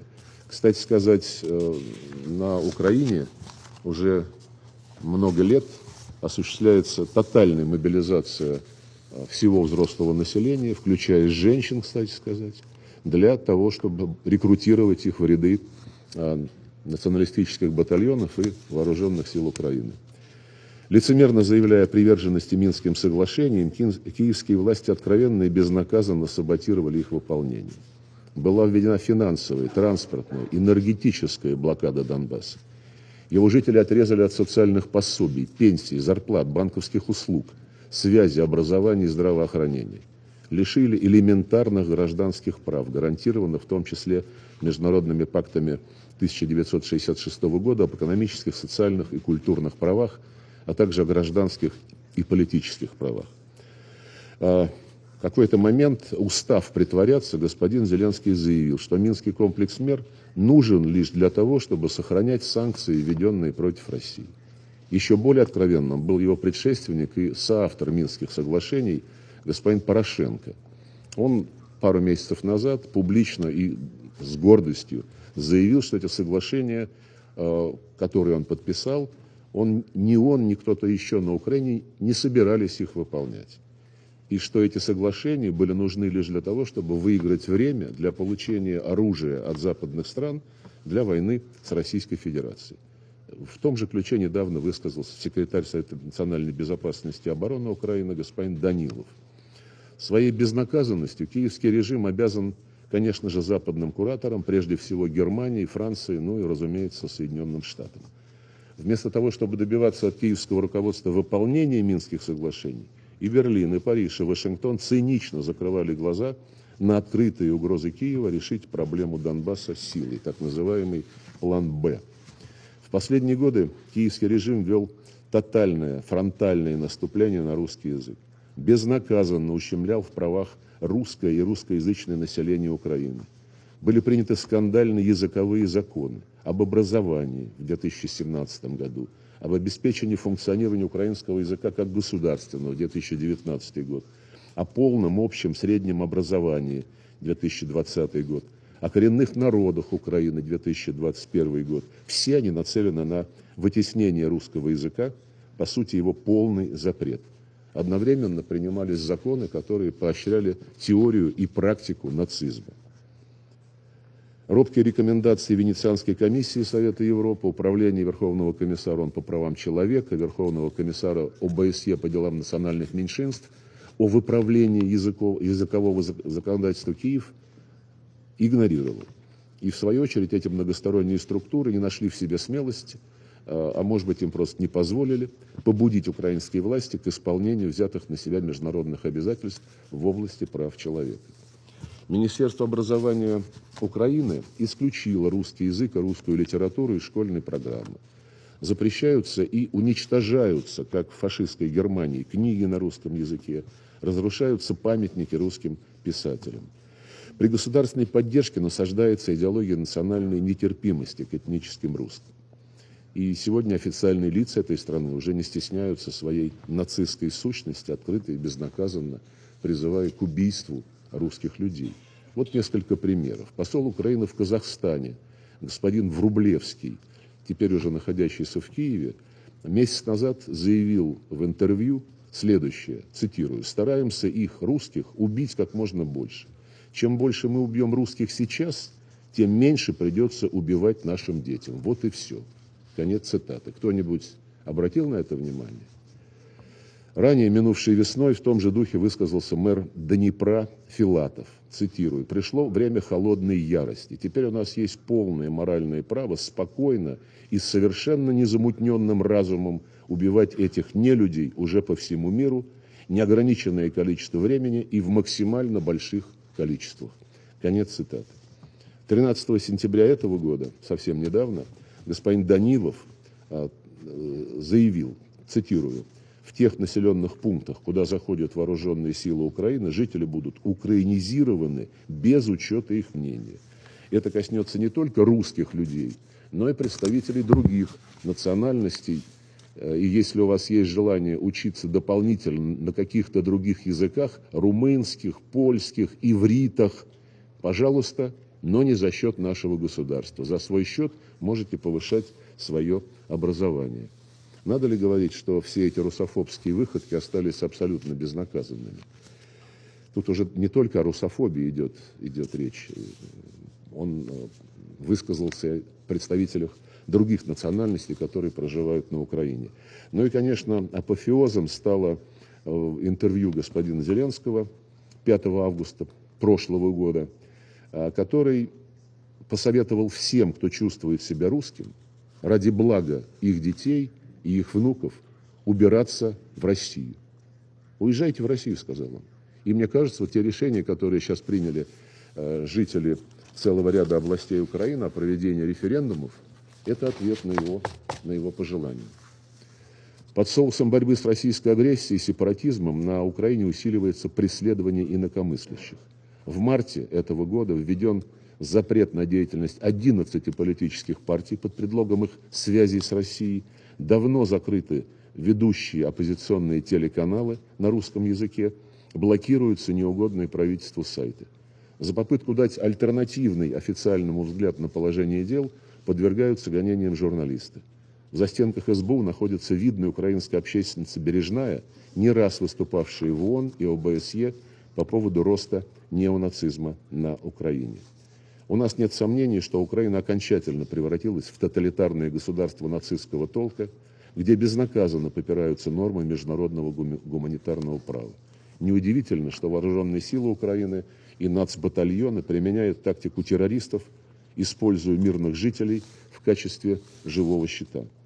На этом фоне особенно цинична позиция тех государств, которые накачивают Украину оружием и военной техникой, обучают персонал вооруженных сил этой страны. Цель очевидна. Они ее не скрывают, они ее декларируют. Максимально затянуть боевые действия, несмотря на жертвы и разрушения, для того, чтобы истощить и ослабить Россию. Такая линия означает прямую вовлеченность стран Запада в украинский конфликт, делает их его стороной. Преднамеренное разжигание этого конфликта коллективным Западом тоже остается безнаказанным. Ну, действительно, не будете же вы, господа, сами себя наказывать. У нас нет никаких э, иллюзий, что сегодня вооруженным силам России и ополчением Донецкой и Луганской народных республик противостоят не только неонацистские формирования киевского режима, но и военная машина, как я уже сказал, коллективного Запада. И в режиме реального времени с использованием современных систем, самолетов, кораблей, спутников, стратегических беспилотников НАТО снабжает разведданными вооруженные силы Украины и наускивает их на то, что Россия должна быть разгромлена на поле боя, об этом прямо и публично заявляют официальные представители Евросоюза, и э, лишена в качестве наказания, Россия должна быть лишена любого суверенитета. Это уже, знаете, это уже не латентный расизм, а самый, что ни на есть, откровенный. На фоне массированных обстрелов населенных пунктов Донбасса господин Зеленский радуется эффективности западного оружия. Вот его цитата, свеженькая. Наконец-то чувствуется, что очень мощно заработала западная артиллерия, то оружие, которое мы получили от наших партнеров, точность действительно такая, как нужно, цинично заявил лидер этого государственного образования. При этом никаких военных или стратегических целей в обстреливаемых населенных пунктах поражено не было. Страдают только мирные жители Донбасса. С конца июля вооруженные силы Украины дистанционно минируют центр Донецка и его пригороды запрещенными противотанковыми, противопехотными минами «Лепесток». Их применение грубо нарушает Конвенцию 1997 года, которую ратифицировала Украина, а также второй протокол к Женевской конвенции э, о запрете мин без самоликвидаторов. Такие бесчинства стали возможны и остаются безнаказанными из-за того, что США и их союзники при попустительстве международных правозащитных институтов 8 лет планомерно покрывают преступления киевского режима, устраивая свою политику в отношении Зеленского, исходя из известного американского принципа. Он, конечно, сукин сын, но он наш сукин сын. Неудобная правда, которая омрачает светлый облик Украины как жертвы так называемой агрессии – старательно замалчивается, а иногда откровенно вымарывается. Даже западную правозащитную организацию Amnesty International, которую трудно заподозрить в симпатиях к России, подвергли суровой критике и записали в агенты Кремля. Только за то, что в своем отчете эта структура подтвердила всем известные факты о том, что Киев размещает боевые точки и тяжелые вооружения на гражданских объектах. Безнаказанными остаются преступные обстрелы Запорожской атомной электростанции боевиками киевского режима, которые создают риски ядерной катастрофы. И это несмотря на то, что с 1 сентября на станции постоянно присутствуют сотрудники МАГАТЭ, и установить сторону, виновную в обстрелах, не составляет никакого труда вообще. Напомню, кстати, что визит миссии МАГАТЭ на эту станцию был искусственно затянут, несмотря на то, что уже 3 июня все детали были согласованы, и миссия могла спокойно отправляться на Запорожскую атомную электростанцию. И потом возникла очень неблаговидная ситуация, когда э, Департамент безопасности секретариата ООН отказывался давать добро на конкретный маршрут, согласованный Россией и МАГАТЭ. Затем стал заявлять, что МАГАТЭ самостоятельно определяет все параметры этой миссии – это не очень чистоплотная затея, она затянула посещение Запорожской атомной станции миссии МАГАТЭ на два месяца. Даже на три месяца, я прошу прощения, 3 июня, да, практически три месяца. Вот, серьезную тревогу мы испытываем в отношении судьбы российских военнослужащих, попавших в руки украинских националистов. Имеется многочисленные свидетельства жестокого обращения с ними – включая бессудные расправы в нарушении требований международного гуманитарного права. Я уверен, что те, кто интересуется реальными событиями на Украине, видели а, видеозапись расправы украинских нацистов над российскими военнопленными, которых, которых бросили на землю со связанными за спиной руками и расстреливали в голову. Кто-нибудь из э, представленных здесь стран каким-то образом комментировал это преступление? У нас есть масса свидетельств этих и иных преступных деяний киевского режима, которые совершаются регулярно с 2014 года. Российские правоохранительные органы в сотрудничестве с коллегами из Донецкой и Луганской народных республик тщательно фиксируют и расследуют факты преступлений. Установлена причастность более 220 лиц, включая представителей высшего командования вооруженных сил Украины, командиров воинских подразделений – которые обстреливали мирное население. Расследуются уголовные дела в отношении граждан Британии, Канады, США, Нидерландов по фактам наемничества и совершения преступных действий на Украине. Я заверяю вас, что все виновные, вне зависимости от их гражданства, будут привлечены к ответственности. И э, еще раз хочу обратить ваше внимание на э, следующее. Когда российские и украинские переговорщики в Стамбуле в конце марта практически согласились над предложенными Киевом а, параметрами урегулирования, через пару дней произошла а, трагедия в Буче. То, что она имела постановочный характер, ни у кого не остается сомнений. И обращаю ваше внимание, дорогие господа, что западные коллеги сразу после этой инсценировки а, подняли истерику, и ввели новый пакет санкций против Российской Федерации, голословно обвинив нас в том, что мы совершили убийство мирных граждан. С тех пор, когда был этот пропагандистский эффект реализован, никто об этой буче не вспоминает, кроме нас. Я еще раз обращаюсь в присутствии генерального секретаря и уважаемых министров.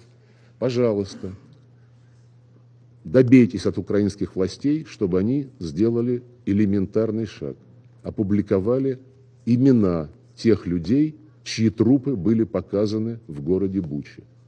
Я об этом прошу уже не один месяц. Никто не слышит, никто не хочет реагировать. Уважаемый господин генеральный секретарь, хотя бы вы употребите свой авторитет, пожалуйста. Я думаю, всем будет полезно разобраться с этим э, эпизодом. Вот. И, конечно, мы обратили внимание на возросшую активность международного правосудия применительно к Украине. Рекламируются некие усилия по расследованию преступлений на Украине, которые приписываются российским военным. А, Все это носит заказной характер, мы э, это прекрасно видим. А, и еще раз напомню, что ни кровавый госпереворот в 2014 году, ни трагедия в Одессе 2 мая того же года, ни обстрелы мирных городов Донбасса, бомбежка самолетами вооружа... военно-воздушных сил Украины Луганска 2 июня 2014 года и многие другие э, факты не стали поводом для какой-либо внятной реакции со стороны Международного уголовного суда. Кстати, в этот э, Международный уголовный суд было направлено более трех тысяч сообщений о преступлениях против жителей Донбасса, и никакой реакции не последовало. Видимо, сейчас руководство этого э, так называемого судебного органа получила команду а, свыше о том, чтобы они развили свою бурную деятельность. Никакого доверия к этому органу у нас не осталось. Мы долгие 8 лет напрасно ждали, когда начнется борьба с безнаказанностью на Украине. И больше не рассчитываем на справедливость со стороны этого, да и целого ряда других международных институтов. Время ожидания закончилось. Все сказанное мной лишний раз подтверждает, что решение о проведении специальной военной операции а, было неизбежным. Мы об этом не раз говорили, предъявили огромное количество фактов, которые показывают, как готовилась Украина исполнять роль антироссии, роль плацдарма для создания и реализации угроз против российской безопасности. Смею вас заверить, что мы этого не допустим. Благодарю вас за внимание.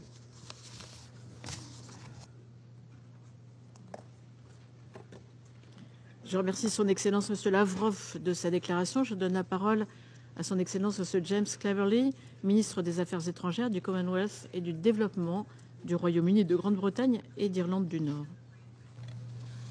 Uh, Madam President, Mr. Secretary, uh, General, uh, Mr. Khan, thank you. 77 years ago, UN members agreed solemn principles in the UN Charter, vital for international peace and security.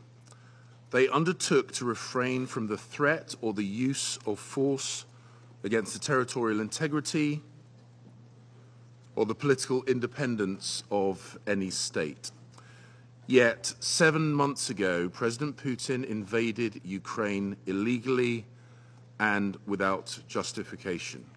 He ignored the resounding pleas for peace that I heard in this Council on the 17th of February. Since then, Ukrainians' spirit of defense and defiance in the protection of their country continues to inspire free peoples and nations. Every day, the devastating consequences of Russia's invasion become more clear. UN agencies have confirmed more than 14,000 civilian casualties so far, and the actual total is likely to be much higher. More than 17 million Ukrainians in humanitarian need, 7 million displaced within Ukraine, and more than 7 million Ukrainian refugees in Europe. We see the mounting evidence of Russian atrocities against civilians, including indiscriminate shelling and targeted attacks on over 200 medical facilities and 40 educational institutions, and horrific acts of sexual violence. We see from the reports of the Office of the High Commissioner for Human Rights that in parts of Ukraine currently under Russian control, civilians are subject to torture, arbitrary detention, and forced deportation to Russia. And we have seen more grisly discoveries in Izium. And it's not just Ukrainians who are the victims. President Putin's war has spread hardship and food insecurity across the globe, plunging millions of the world's most vulnerable into hunger and famine. And once again, as we've seen here today, Russia has sought to deny responsibility. It has tried to lay the blame on those who have rightly imposed sanctions on President Putin's regime in response to his illegal actions. Let us be clear we are not sanctioning food. It is Russia's actions that are preventing food and fertilizer getting to developing countries. It is Russia's tactics and bombs that are to blame for destroying Ukraine's farms, infrastructure, and delaying its exports. I sat here in February listening to the Russian representative assuring this council that Russia had no intention of invading its neighbor. We now know that was a lie. And today, I have listened to further installments of Russia's catalogues of distortions, dishonesty, and disinformation. He has left the chamber. I'm not surprised. I don't think Mr. Lavrov wants to hear the collective condemnation of this council. But we saw through him then, and we saw through him again today we have information which means that we know that Russia is about to hold sham referenda on sovereign Ukrainian territory with no basis in law, under the threat of violence, after mass displacements of people in areas that voted overwhelmingly for Ukrainian independence. We know what Vladimir Putin is doing. He is planning to fabricate the outcome of those referenda. He is planning to use that to annex sovereign Ukrainian territory. And he is planning to use it as a further pretext to escalate his aggression. That is what he plans to do. And we call on all countries to reject this charade and to refuse to recognize any results. We are used to seeing Russian lies and distortions. But let us listen to the testimony of Ukrainians who tell us the truth, who tell us the reality of President Putin's war. Dr. Olena Yuzvak, her husband, Oleh, and their 22 year old son, Dmitry, were abducted by Russian forces from their home in Hostomel near Bucha in March. Russian soldiers shot Oleh twice in the legs before they were all blindfolded and bundled into an armoured personnel carrier. And I want you to hear Olena's story in her own words, and I quote First, they took us to a bombed out house. The Russian soldiers kept saying they were going to kill us. My husband was left for hours lying on the floor in the pool of his blood. I don't know why. We'd done nothing wrong. Then they took my son away from us. I don't know where. I don't know if we'll ever see him again. I just want my boy back. End of quote.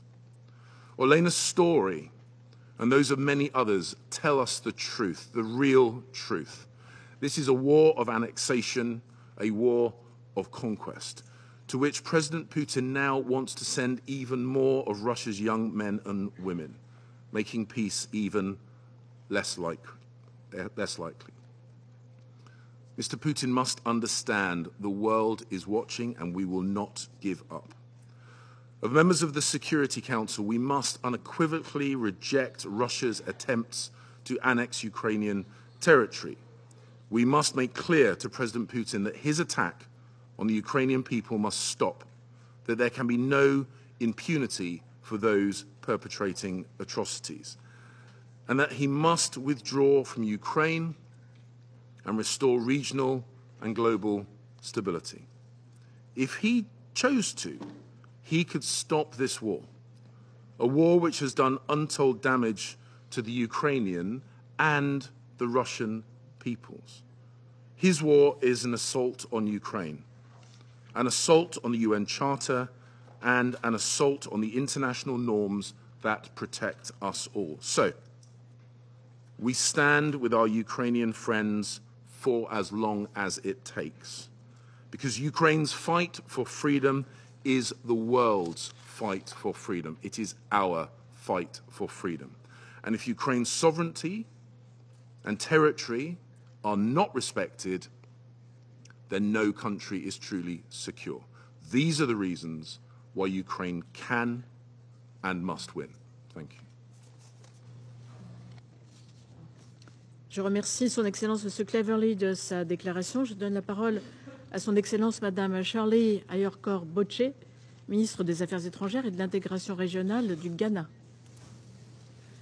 Madam President, Excellencies, let me thank France for organizing this high-level meeting. I would also like to thank Secretary General Antonio Guterres for setting the tone for this meeting with his very clear statement. We welcome also the briefing from Mr. Karim Khan, the prosecutor of the ICC. The world has been united since this Council's referral over Darfur in Resolution 1593 2005, nearly two decades ago, that impunity anywhere poses serious threats to international peace and security the international legal order, and our multilateral system. We have systematically reinforced our institutions and defined conduct and sanctions to expose, prevent, or punish those acts or behavior that defy the norms we are committed to live by. No state, however powerful, should get a pass. To do so unravels a central tenet of our global civilization. It puts at stake the lives and liberties of those less powerful, wherever they live. That is why the members of this council must act in an urgent and unified manner to end the near paralysis of the council and the war in Ukraine. The toll of that war is intolerable, and the lack of unified resolve risks making our universal organization an enabling factor for impunity in Ukraine. The damage to the standing of the Charter may be incalculable. Ghana is especially concerned about the intensification of the war in Ukraine across several lines, with civilian populated areas and civilian infrastructure being the targets of bombardments.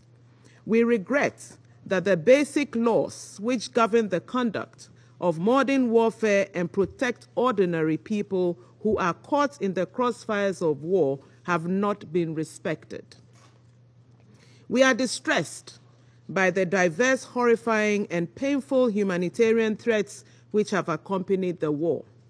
Some 14 million people, mostly women and children, have been displaced from their homes and face heightened risk of conflict related sexual and gender based violence.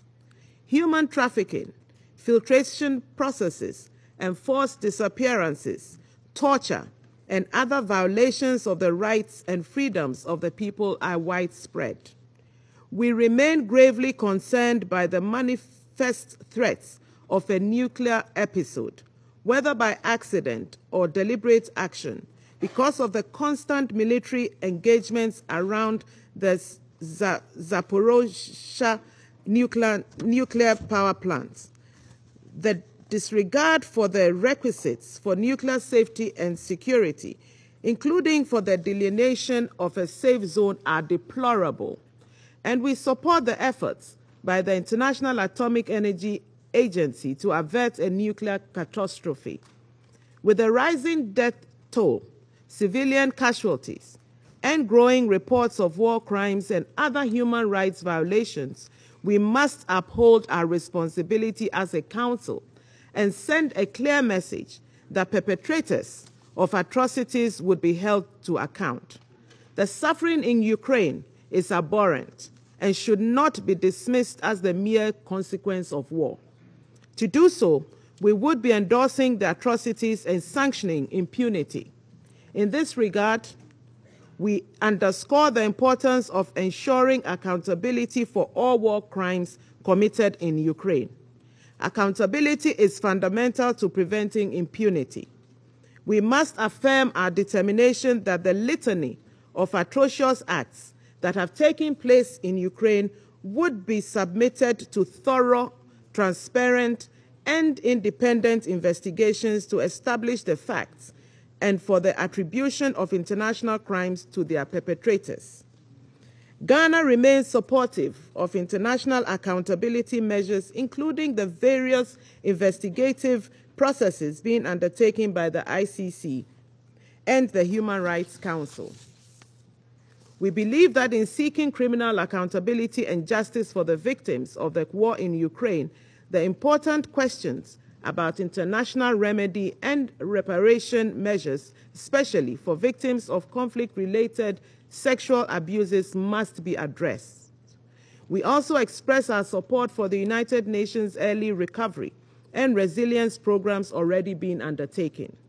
Madam President, we have, we have expressed several times our principled position against the aggression on Ukraine, which we consider to be a disregard for the rules of international law and the principles of the Charter. Ukraine, as a sovereign state and a member of this organization, has every right, we believe, and indeed a responsibility to defend its territorial integrity and political independence. We recognize the tremendous courage and resilience of the Ukrainian people. Ghana does not and will not recognize any territory that is unilaterally and forcefully required or acquired as dismembered from a sovereign entity. We reiterate the call on the Russian Federation to immediately and unconditionally cease its operations, withdraw its troops from the internationally recognized borders of Ukraine, and respect its neighbors' sovereignty and political independence. The need for a credible pathway for a genuine diplomatic process is urgent. The barrel of the gun does not provide such a pathway. It only leads to needless loss of lives and destruction on both sides. Indeed, the costs of the war have been high, not only for the parties, but also for the rest of the world. As the president of Ghana said yesterday in his statement at the General Assembly, I quote, every bullet, every bomb, every shell that hits a target in Ukraine hits our pockets and our economies in Africa, unquote. In this regard, let me place on record Ghana's appreciation for the good offices of the Secretary General and other international actors to leverage life saving humanitarian interventions at critical times of the war. We already note some positive impacts from the Black Sea Grain Initiative and urge the continuous and unrestricted shipment of grains to countries facing food insecurity. We encourage all stakeholders to reach an early agreement for the export of Russian fertilizers and crop products, especially needed for agrarian dependent economies. Madam President, let me conclude with an appeal. In a week when the eyes of the world are on us and millions around the world look to the United Nations for leadership and hope, we must send a strong message that impunity will not be tolerated, that we need to act through concerted diplomacy to end the war in Ukraine. I thank you.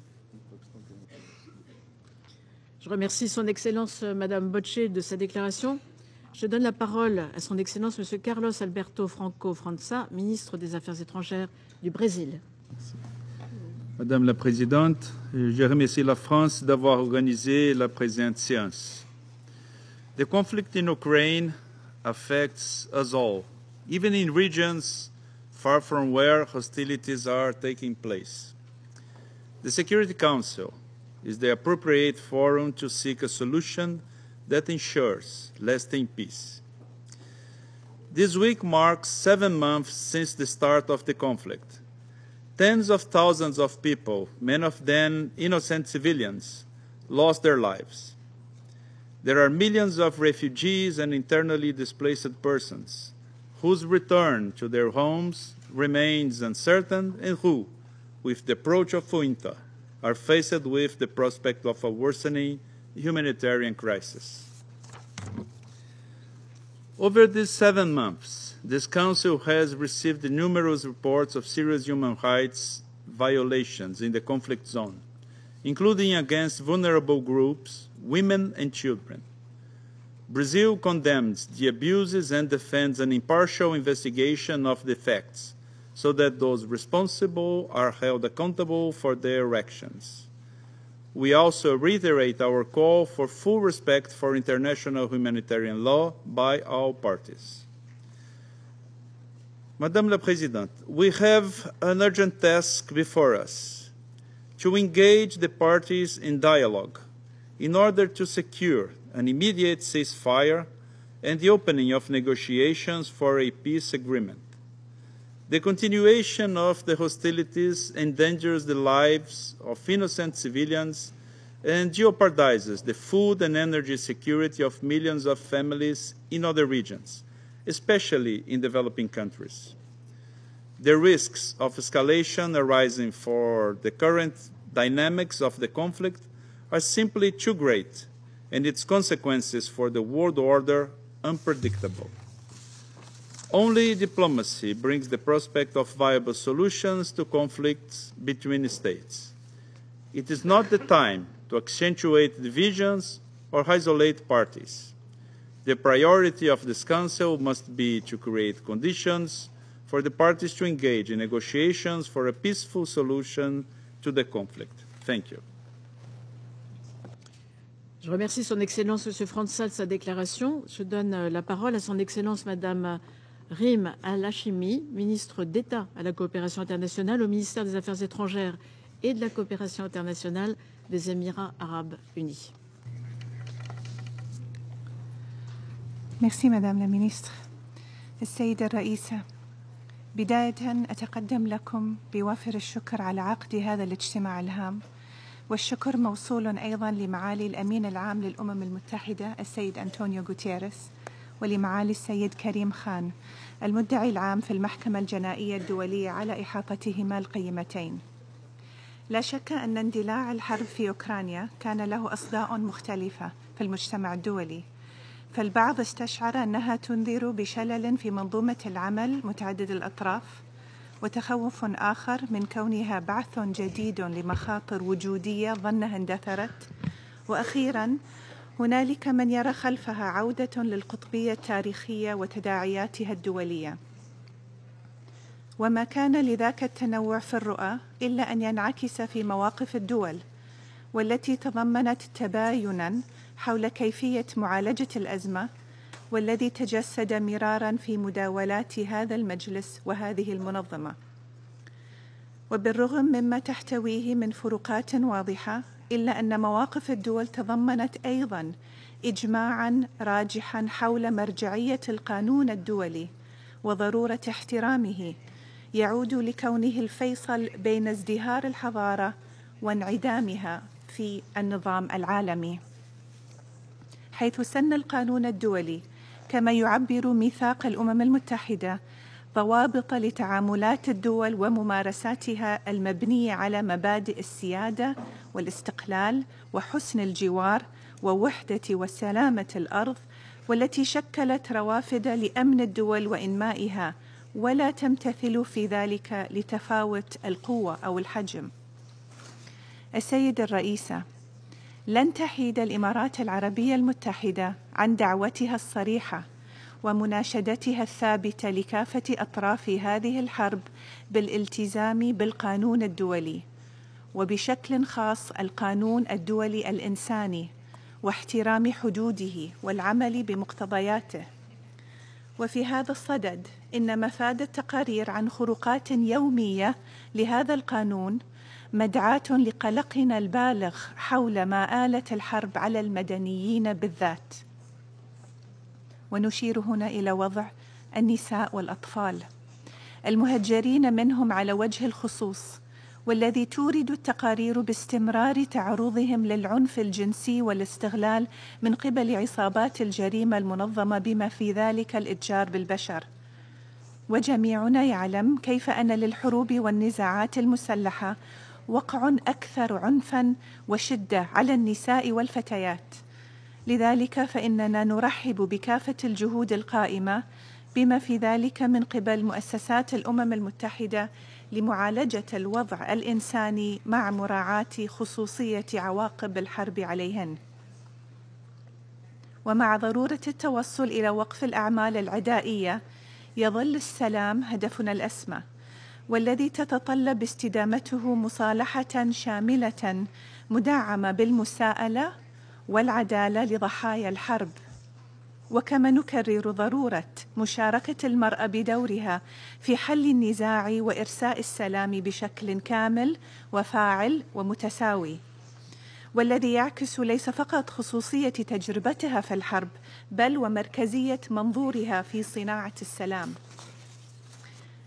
السيده الرئيسة ستستمر دولة الإمارات في مسلكها الداعي للحوار وخفض التصعيد والتأجيج وتشجيع التعاون وصياغه توافق يضمن الاستقرار في الدول وبينها.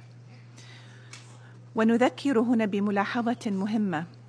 لا يختلف القانون الدولي عن نظيره المحلي في أن الاستثناءات من دونه من دون عواقب طبعة الممارسة في سباق إلى القاع. وفي الختام أكرر نداء بلادي إلى الطرفين وجميع الجهات الفاعلة بالسعي لحل سلمي ينهي هذه الحرب من خلال حوار جامع بناء والذي يتطلب ترك قنوات الاتصال مفتوحة وطريق العودة مشرعة ابقاء لأفق الحل الدبلوماسي. وكما هو جلي أمامنا فإن العالم بمختلف مكوناته قلق من تبعات هذه الحرب بما في ذلك على النظام الدولي وأمن الغذاء والطاقة ومخاطر تعاظم هذه المواجهة.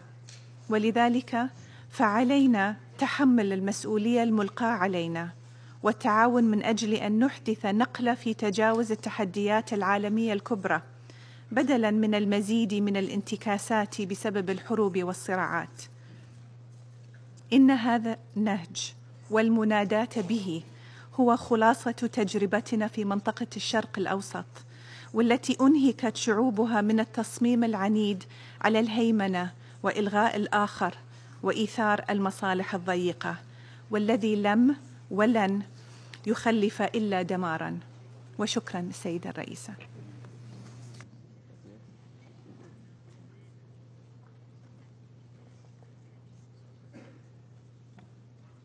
Je remercie Madame Alchimie, Alchimie de sa déclaration. Je donne la parole à son Excellence Monsieur Georges Orina, directeur général au ministère des Affaires étrangères du Kenya. Um, Madam President, Excellencies, Madam President, Kenya's delegation commends you and France for the able stewardship of the Security Council during the month of September. I thank the Secretary General Antonio Guterres and Mr. Karim Khan for their updates on the situation in the Ukraine. The war in the Ukraine is a serious breach of the United Nations Charter. The obligation to respect the territorial integrity of all member states will be further undermined should any action be taken to change the legal character of the areas in eastern Ukraine. We are in a moment of grave danger to international peace and security. The escalation of the war the international commu uh, community feared is underway. There are now clear threats being issued about the potential deployment of weapons of mass destruction in the conflict. On the battlefield, civilians are being subjected to serious harm in contravention of the fundamental international law and human rights obligations.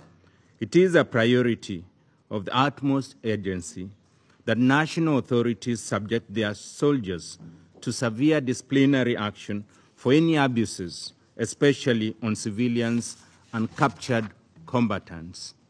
Military commanders should surrender those suspected for such atrocities to the relevant authorities for prosecution.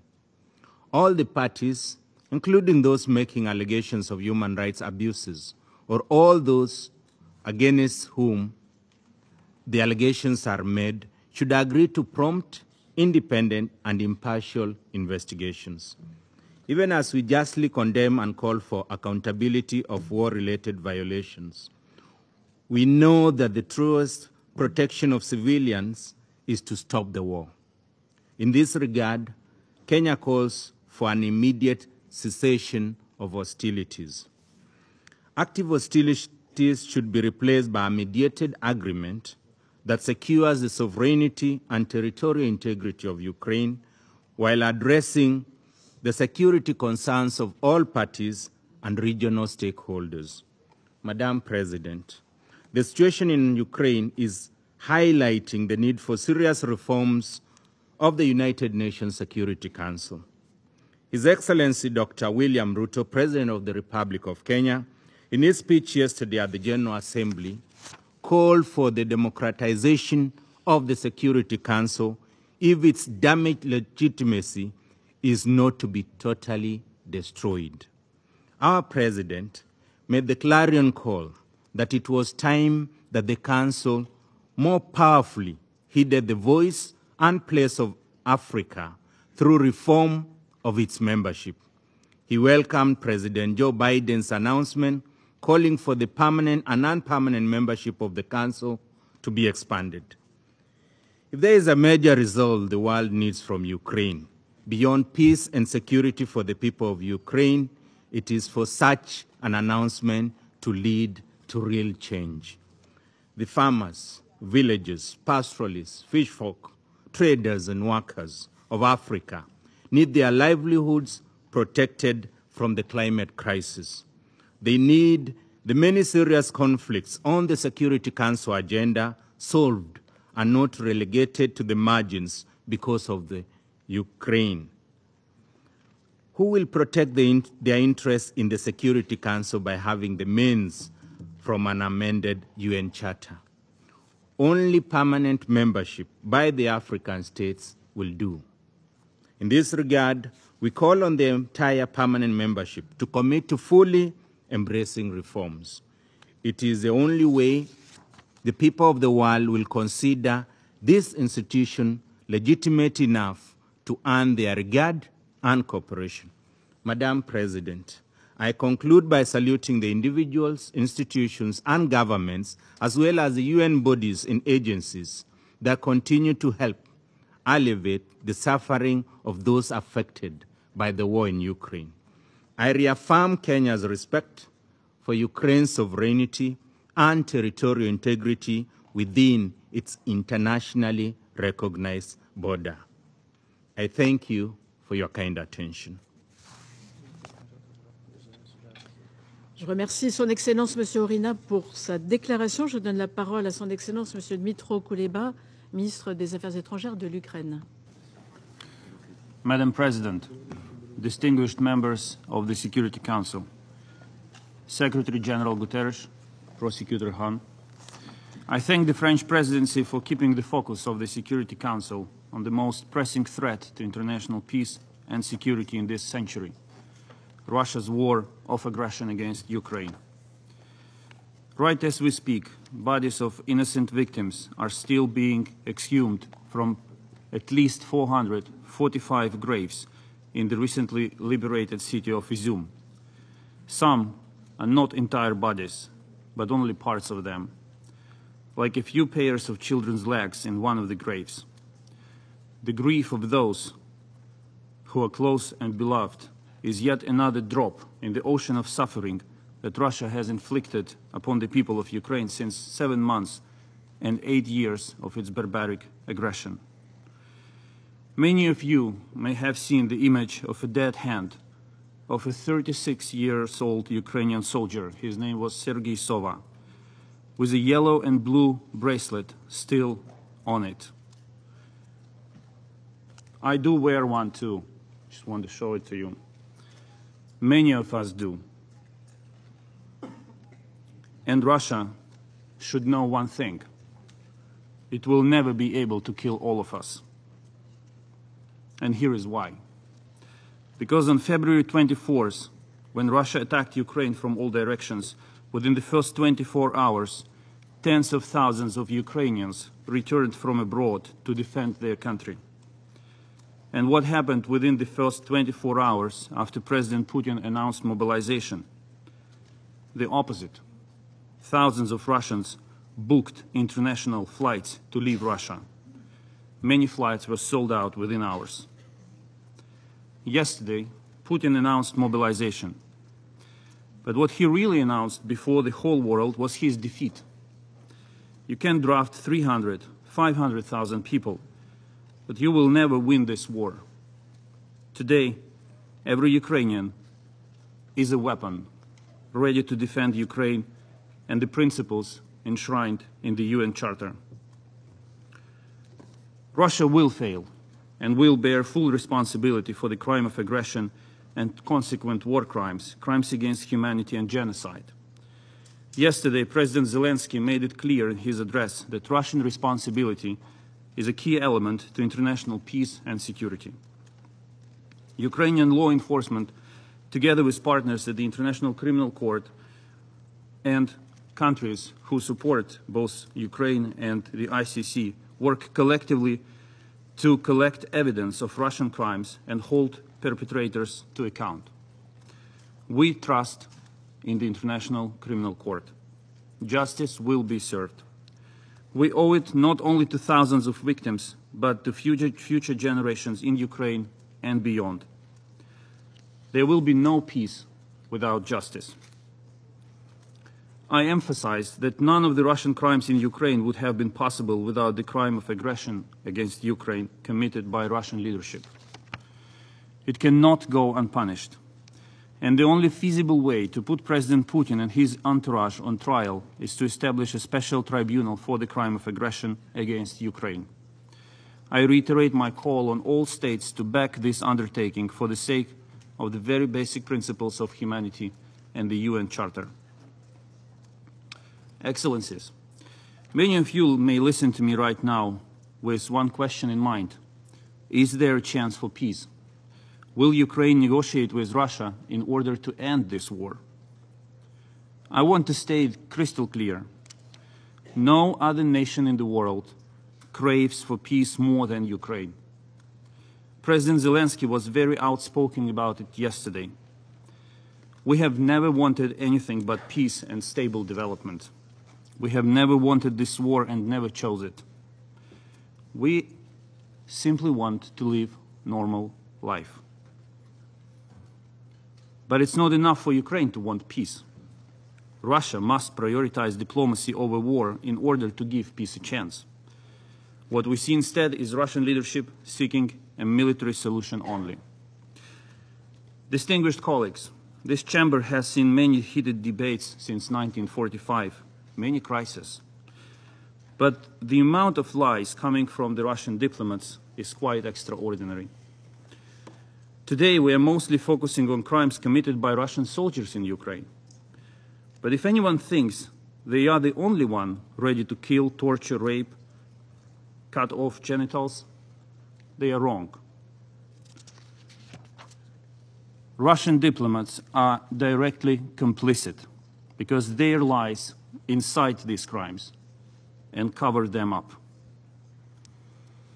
Apparently, the only thing in today's address by Russia in this torrent of lies worthy of reaction is the inappropriate slang used when mentioning a president of a foreign country, the president of Ukraine.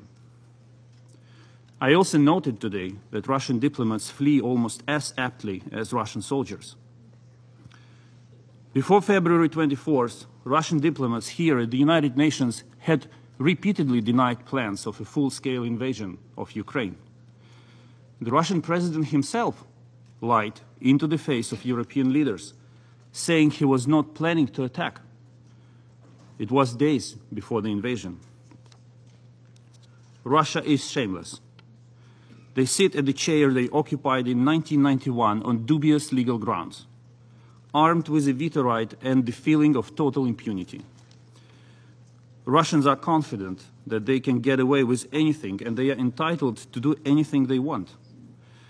They think this seat allows them to violate borders in a 19th century style imperialist conquest. They think it allows them to shell nuclear power plants and seize them.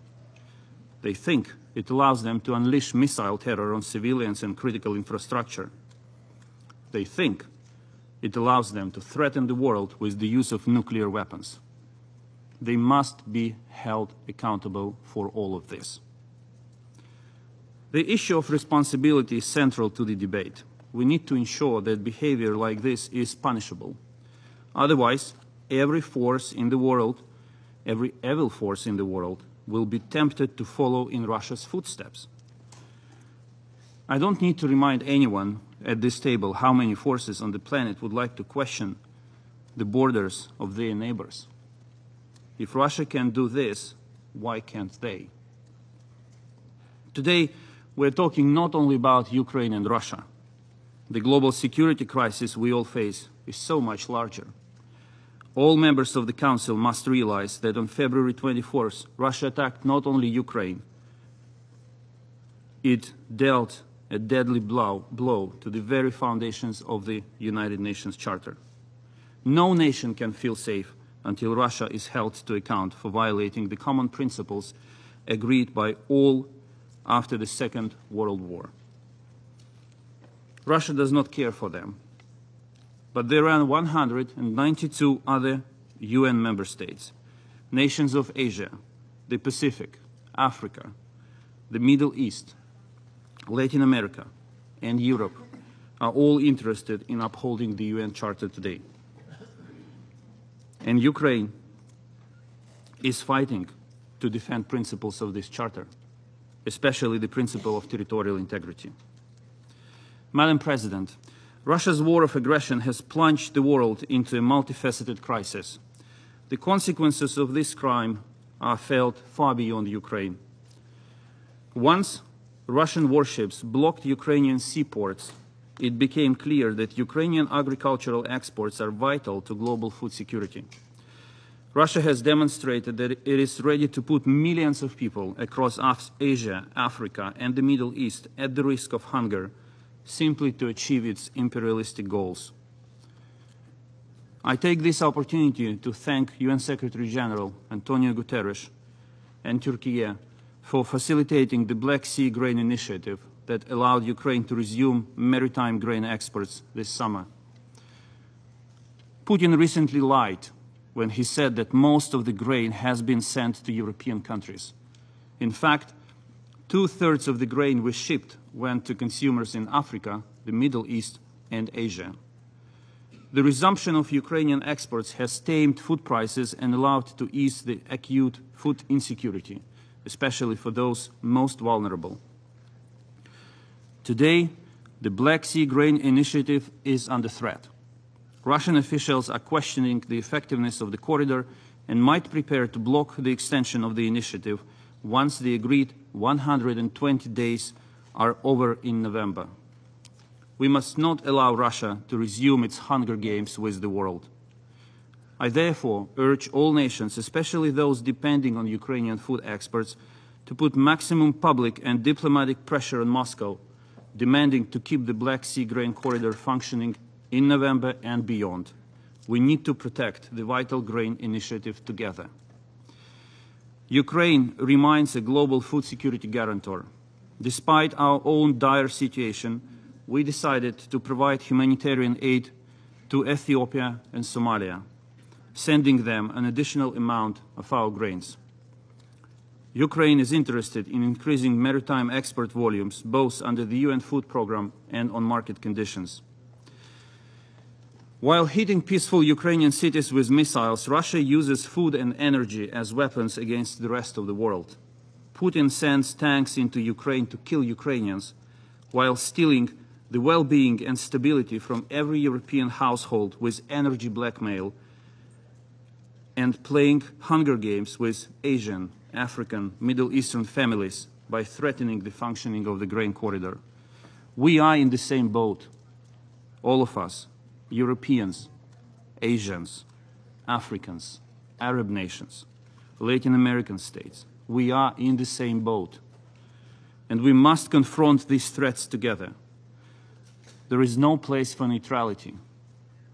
I said back in February here at the United Nations that no nation will be able to sit out this crisis created by Russia. It still stands.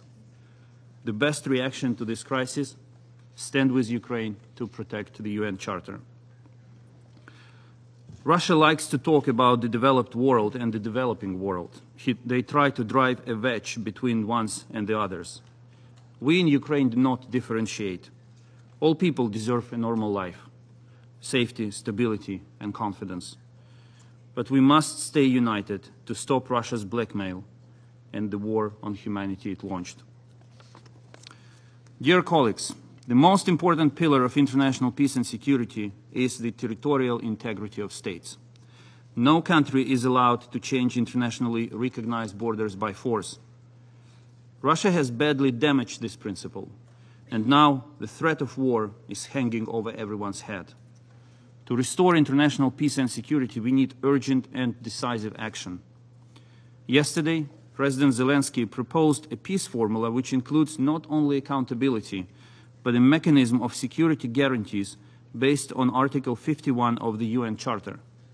Ukraine has developed the Kyiv Security Compact, proposing a modern, multi-layered mechanism of guarantees to ensure Ukraine's security until the moment it becomes part of NATO. This document, though, is much broader than a tool of guarantee to guarantee the security of Ukraine only. We see it as a universal mechanism that can be considered and applied to other countries and contexts in order to strengthen regional and global security architecture. Ukraine keeps working with partners to realize the vision of the Kyiv Security Compact. This is our added value to international peace and security for all UN member states. Thank you.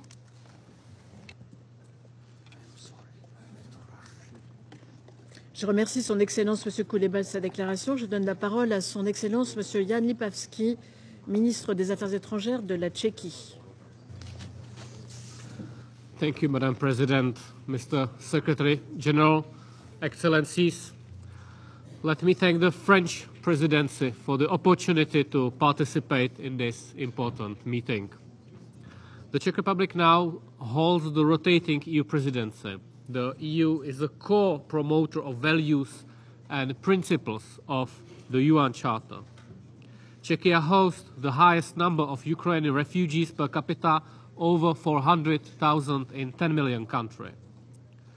Russia's colonial, unprovoked and illegal war of aggression against Ukraine sent this massive wave of the most vulnerable population abroad.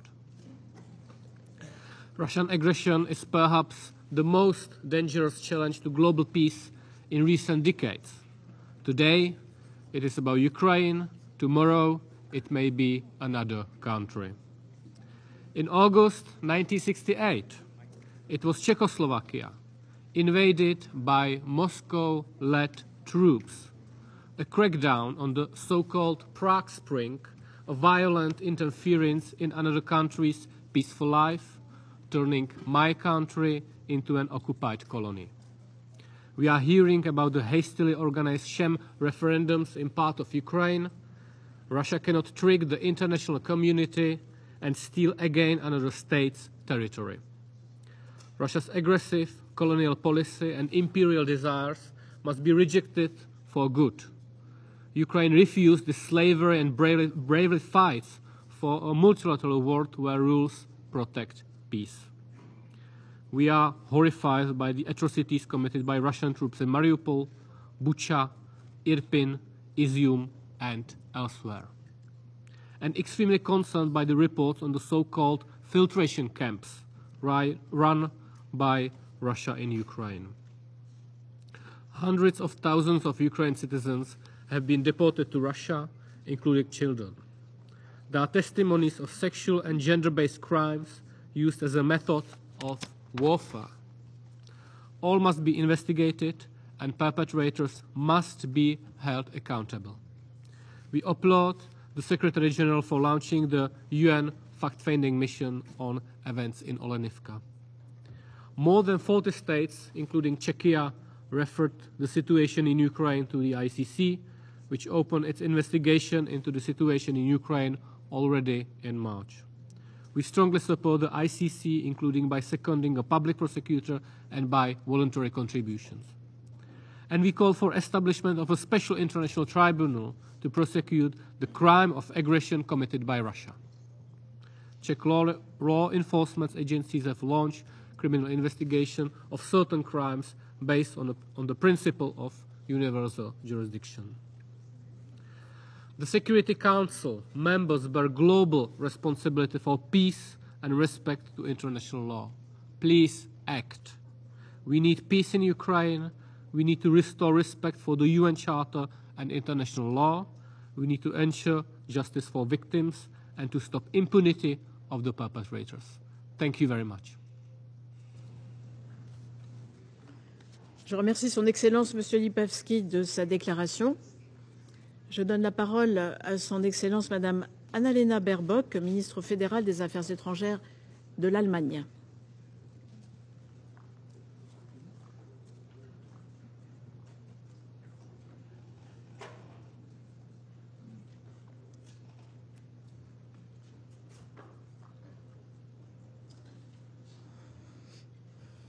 Madame la Ministre. Madam President, dear colleagues, Bucha, Mariupol, Izium. When we talk about the horrors of the unfolding war in Ukraine, we are not talking about abstract reports.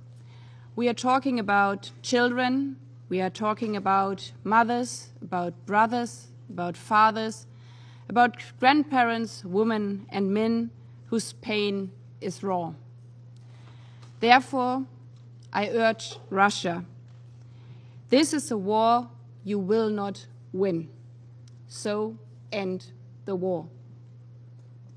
Stop the suffering in Ukraine. Stop sending more of your own citizens into death. Stop your shame referendums, which are as unlawful as the war they are supposed to legitimize. Stop the grain war that is driving hunger across the globe, especially in the south. And stop paralyzing this very body, the United Nations Security Council. For many of you here and for some in the General Assembly, this war might have seemed like the regional war far away in February 24th. Because in many parts of the world, there's too much suffering itself driven by conflict, driven by climate catastrophe, driven by the pandemic and by hunger. We did hear this. We in Germany, we could also feel you in this understanding. But I think we all feel together now here in the Security Council, but also in the General Assembly, that since the last 200 days, what is happening can leave nobody around the globe untouched. Now, for 200 days of Russia's brutal war in Ukraine, President Putin's most recent announcements make it clear beyond any doubt. Russia is not conducting a so-called special operation. Russia is leading a full-fledged war of aggression with war crimes, with torture, with rape, even of children. Russia's war is since 200 days is also increasing the hunger, the poverty, the insecurity in the world all around the globe. And I think this is a clear sign that the Russian foreign minister only came in for his own speech and then spoke for quite some while, but didn't even mention the hunger, the poverty, the results all around the world. And today, in the streets of Moscow, there are no queues of volunteers wanting to join the war in Ukraine. What we see instead are courageous men, women, and even children taking to the streets because they do not want to be part of this war against Ukraine, and they want not to be part of the hunger war in the world. These men and women feel what we all feel, regardless of where we hail from north, south, east, or west. That all this war brings is pain, death, and destruction. Today, here in this chamber, we have to ask, therefore, ourselves if we let a permanent member of this council launch such a war of aggression against its neighbor, what would this mean for the United Nations? For an institution whose charter states that, I quote, all members shall refrain from the threat of use of force against the territorial integrity or political independence of any state. If the charter means anything to us, we must not stand idle by, but live the spirit of this, of our charter. Not in spite of, but particularly because of one member misuses its special veto rights in the Security Council. Live up the spirit of our, of this Charter of the United Nations as it has been lifted up by the UN and our Turkish partners who brokered the grain deal. As it is a World Food Programme which is also supported by Germany, that is shipping the grain to Yemen and to the Horn of Africa.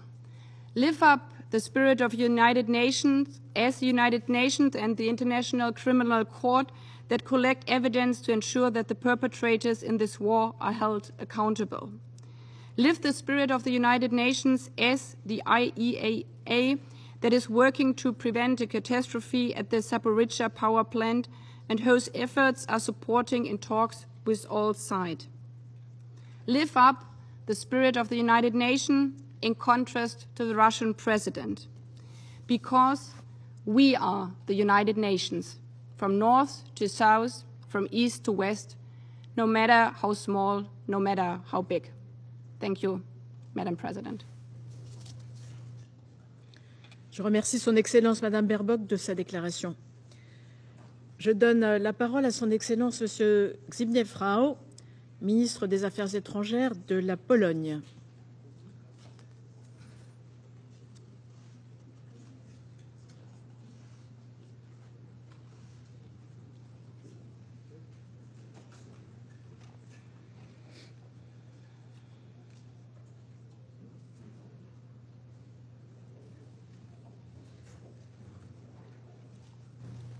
Monsieur le ministre.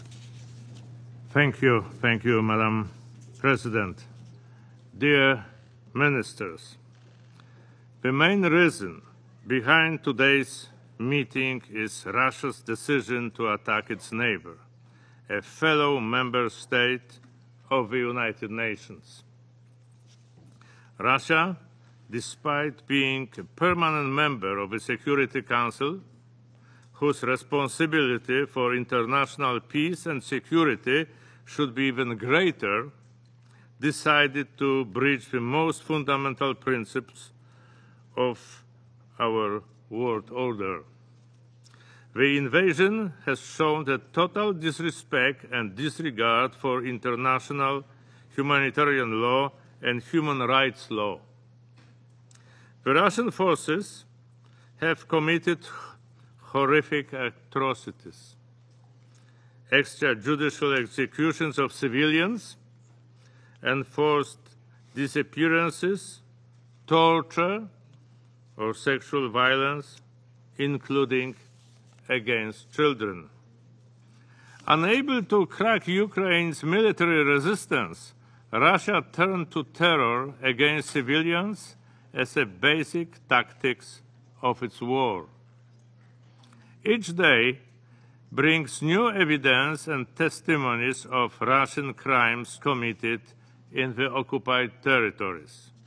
We are shocked by the discovery of chambers of torture and mass graves containing bodies showing signs of torture and brutality in newly liberated Izium.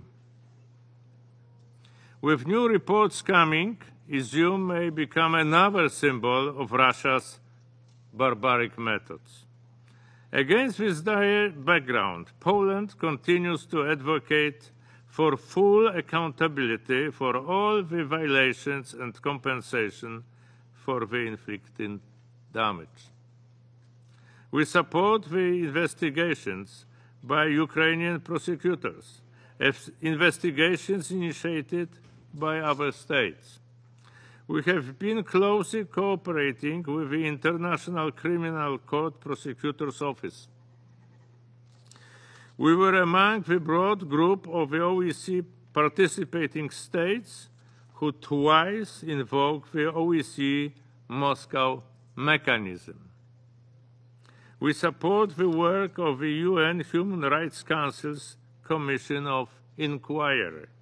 Also, we have opened a domestic criminal investigation into Russia's war of aggression. This is a crime penalized under Polish law. Finally, Poland has helped to establish a joint investigation team operating within the EU Agency for, for Criminal Justice Cooperation framework to collect and preserve evidence of the committed crimes. We should give due consideration to several initiatives put forward by Kiev, such as the Special Tribunal for Crimes of Aggression committed against Ukraine and the international mechanism to provide compensation for damage caused by Russia. Let me reaffirm Poland's solidarity with the people of Ukraine who have shown remarkable courage, resolve, and resilience. They have stood up for their country and their independence with bravery and determination. Now it is our turn to stand up for the principles that protect us all. we must hold Russia accountable for the invasion and all the crimes committed in the course of this aggression. Thank you, Madam President. Je remercie Son Excellence M. Rao de sa déclaration. Je donne la parole à Son Excellence M. Gabrielius Landsbergis, ministre des Affaires étrangères de la Lituanie.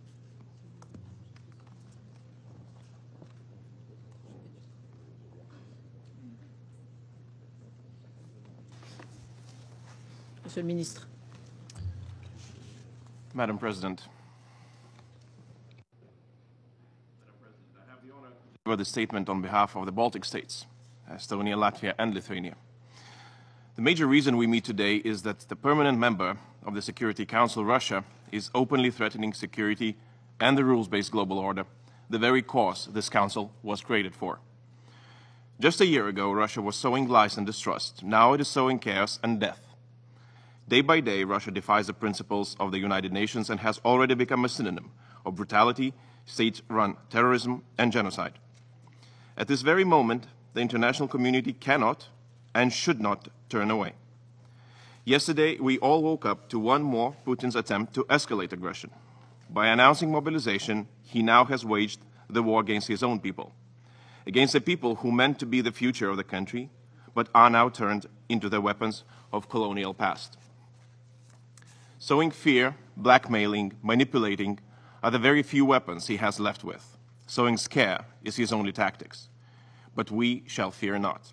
We shall meet Putin's desperate sable rattling with calm and resolve. Condemnation alone will not end these crimes. It is imperative that the international organizations use all of their resources to bring Russia's atrocities to the public light and on the charge sheets of international justice. It is our duty to bring Putin to justice. The special tribunal to address the crime of Russia's aggression against Ukraine must be established. Thus, if international organizations will stand up for justice half as strong as Ukraine stands for the universal values, peace will prevail and justice will prevail. Madam President, Russia's war against Ukraine has far-reaching consequences beyond Europe. Ukraine is one of the major exporters of wheat, corn, and sunflower oil. Thus, we shall make it very clear the shortage of food is due to the Russia's aggression against Ukraine and due to the blockade of the Ukrainian ports, and not because of internationally imposed sanctions. And, this, and as if the charge sheet was not full enough, the Moscow regime has now pressed the button of nuclear threats, knowing that we all know that the consequences of the disaster in Zaporizhia may be potentially worse than Chernobyl or Fukushima. But we shall fear not we shall use all the power of international community to demand from Russia the unconditional withdrawal of its military from Zaporizhia. Madam President, when we say Ukraine, we mean true courage and unbeatable resilience. Ukraine fights for every principle the UN stands for. Ukraine fights for every one of us. Therefore, Madam President, I call on this Council, do not fear to act, fear of your doubt and indifference. I call on every state we still have a chance to preserve peace and security by taking right decisions to defend the rules-based international order. I call on the entire international community. Accountability matters, and justice cannot be escaped. This is the momentum when we have the chance to decide in what world we want to wake up tomorrow. And just before I go, I want to remind that it's not just only Russia that shall be held accountable. The regime of Belarus shall be on the charge sheet too. Slava Ukraini. I thank you. Je remercie Son Excellence M. Landsbergis de sa déclaration. Je donne la parole à Son Excellence M. Vladimir Makey, ministre des Affaires étrangères du Bélarus.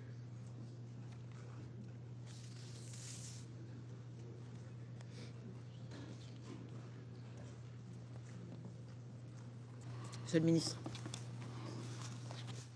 госпожа председатель, события на территории Украины – это большая трагедия. Трагедия для страны и для всех, кто лицом к лицу столкнулся с горем и лишениями, которые несут в себе любые военные действия. Беларусь в силу своего исторического прошлого не понаслышке знает цену войны для народа пережившего геноцид и лишившего, лишившись одной трети своего населения в годы Великой Отечественной войны. Сегодня конфликт разворачивается у наших границ, у наших соседей. Мы твердо убеждены, что только дипломатическим путем, с помощью переговоров, на основе уважения и взаимопонимания возможно урегулировать любой конфликт, в том числе и этот.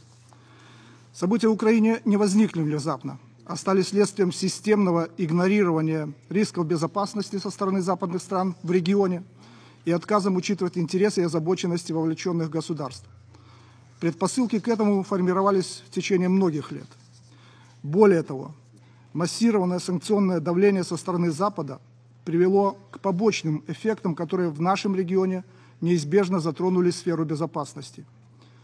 Смею обоснованно утверждать, что санкции существенно сузили, в частности для Беларуси, поле для маневра в, реги в региональной безопасности. Беларусь постоянно и настойчиво предупреждала об опасной эскалации военно-политической ситуации в нашем регионе, деградации создававшейся десятилетиями системы международной безопасности, обесцениванию международных договоров и соглашений. К сожалению, к нам не прислушались. Трагический результат этой высокомерной позиции мы видим сегодня в Украине. Мы всегда повторяли, нельзя обеспечить безопасность одного государства за счет подавления безопасности другого. Никто не, воспринимал это всерьез. Теперь мы пожинаем плоды. Беларусь сделала и продолжает делать все возможное для содействия реализации шагов, направленных на прекращение конфликта и укрепление региональной и международной безопасности. Приведу лишь некоторые факты. В 2014-2015 годах Беларусь предоставила площадку для переговоров и достижения соглашений Минск-1 и Минск-2 по урегулированию конфликта в Украине. И как бы кто ни пытался ерничать на сей счет, как бы кто ни пытался отрицать это, но соглашения тогда снизили уровень военного противостояния в разы на тот момент. В 2014-2019 годах мы обеспечили проведение в Минске более 120 заседаний трехсторонней контактной группы по урегулированию ситуации на востоке Украины. Мы участвовали в диалоге со всеми заинтересованными странами, включая наших европейских партнеров, предлагали конкретные шаги по поддержанию мира и безопасности – в этом зале, наверное, никто не знает об этом, но в 2014 году, когда возник Майдан в Украине, тогдашний премьер-министр Польши позвонил опальному в лице Европы президенту Лукашенко и попросил его совета, что можно сделать для того, чтобы в Украине прекратить э, э, нагнетание напряженности. Президент Лукашенко направил тогда министра иностранных дел в Варшаву, вашего покорного слугу, с конкретными предложениями, которые были выслушаны с интересом. И было сказано, что я посоветуюсь с канцлером Меркель и президентом Олландом, и мы свяжемся с вами. К сожалению, после этого ответа не последовало. Видимо, не хватило смелости э, работать э, с э, Беларусью, которая тогда находилась под санкциями. В этом году на территории Беларуси прошли три раунда российско-украинских мирных переговоров, по итогам которых все участники, и украинские, и российские, однозначно заявили о конкретных позитивных перспективах в плане урегулирования конфликта. К сожалению, через некоторое время этот позитивный процесс э, был прекращен. С, начала, с началом конфликта мы предлагали нашим украинским коллегам установить прямой контакт с российской стороной, были готовы оказать в этом необходимое содействие – Однако наше предложение было проигнорировано. Не знаю почему, но еще задолго до специальной военной операции, которая была начата Россией, еще в декабре 2021 года официальные украинские лица объявили Беларусь враждебной страной. Это при том, что мы соседи, что мы хорошо торговали, и э, никогда у нас не было никаких проблем.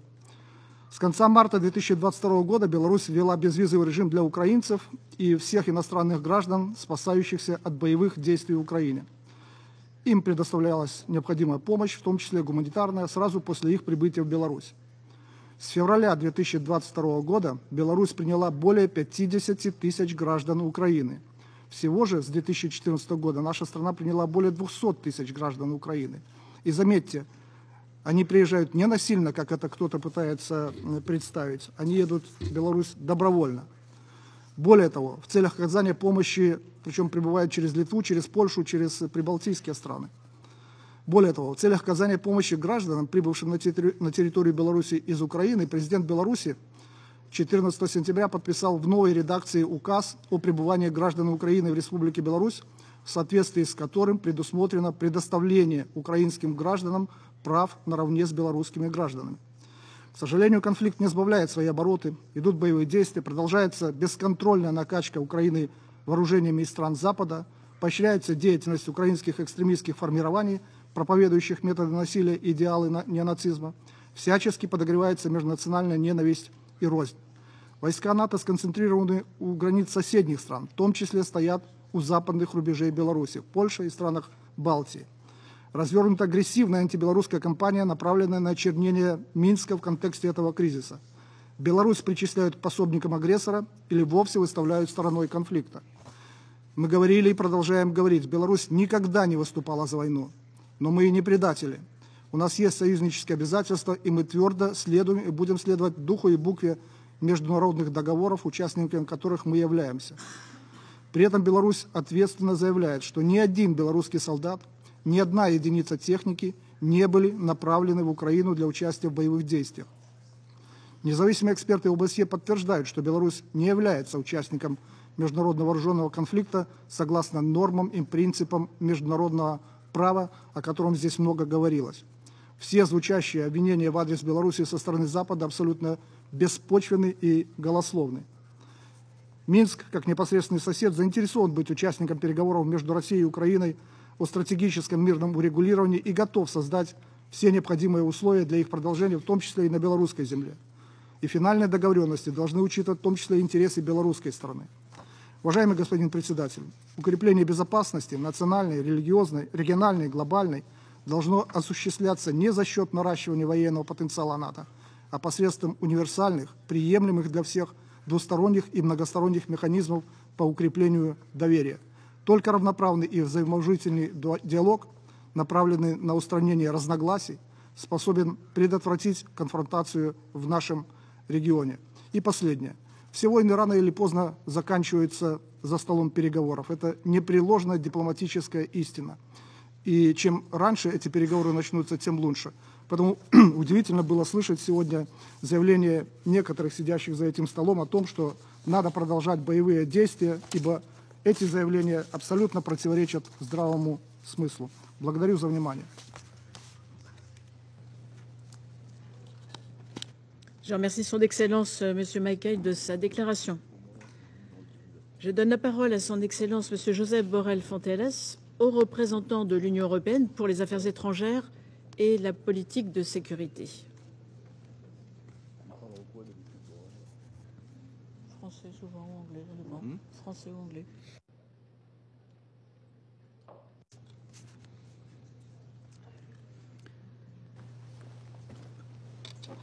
Monsieur le représentant. Madame la ministre, merci beaucoup à la présidence française du Conseil de sécurité pour l'organisation de cette séance cruciale. It's more than six months now into this illegal, senseless, and brutal war. As it has been said uh, by many here today, this is a frontal attack on the United Nations Charter and the international rules-based order. It's a chemically pure attack on the United Nations Charter.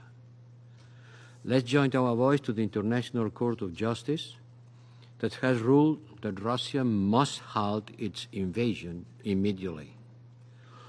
By large majorities, the General Assembly has adopted resolutions calling on Russia to stop its aggression. Morally and politically, Russia has already lost the war. And increasingly, it is losing on the battlefield as well. Ukraine will prevail.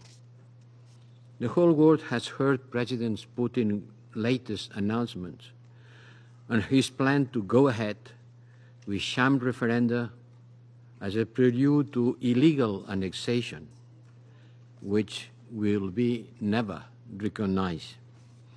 And also his mobilization of 300,000 reservists and his open nuclear threats.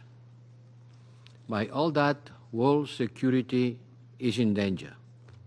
Global leaders meeting at the United Nations in New York this week must send a clear and united signal that the use of weapons of mass destruction is unacceptable in any circumstances. I am encouraged by the many statements I heard here today about this issue.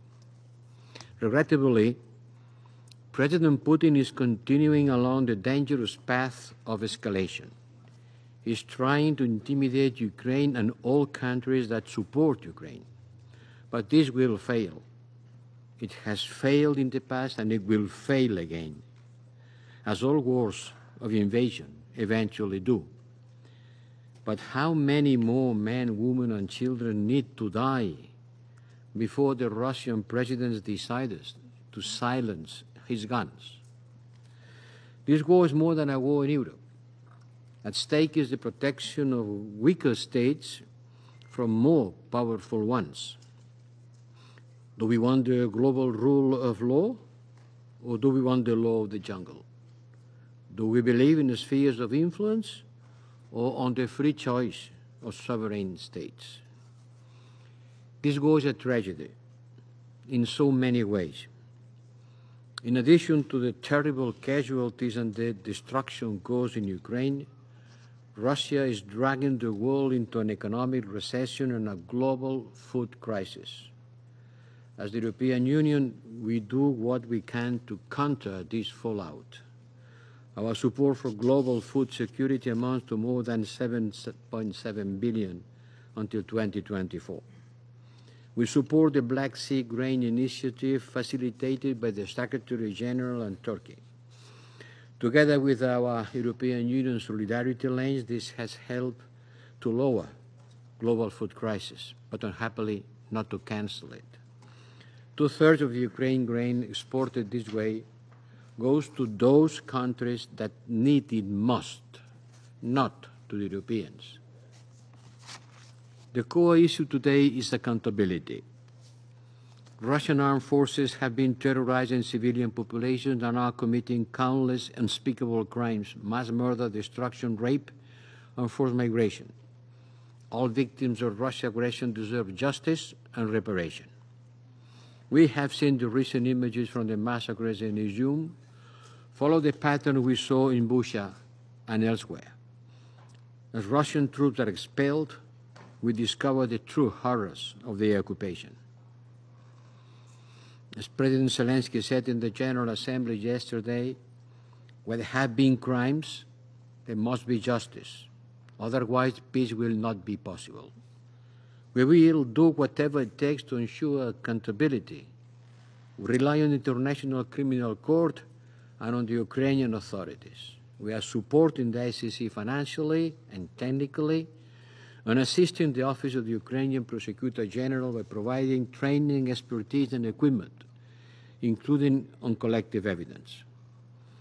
Madam President, ensuring accountability is the responsibility of all of us. We owe this not only to the victims, but also to the next generation, to the future of Ukraine. Because fighting impunity today will contribute to a more secure and just future for all. Thank you. Je remercie Son Excellence Monsieur Borrell Fontelles de sa déclaration. Il n'y a plus d'oratrices ou d'orateurs inscrits. La séance est levée.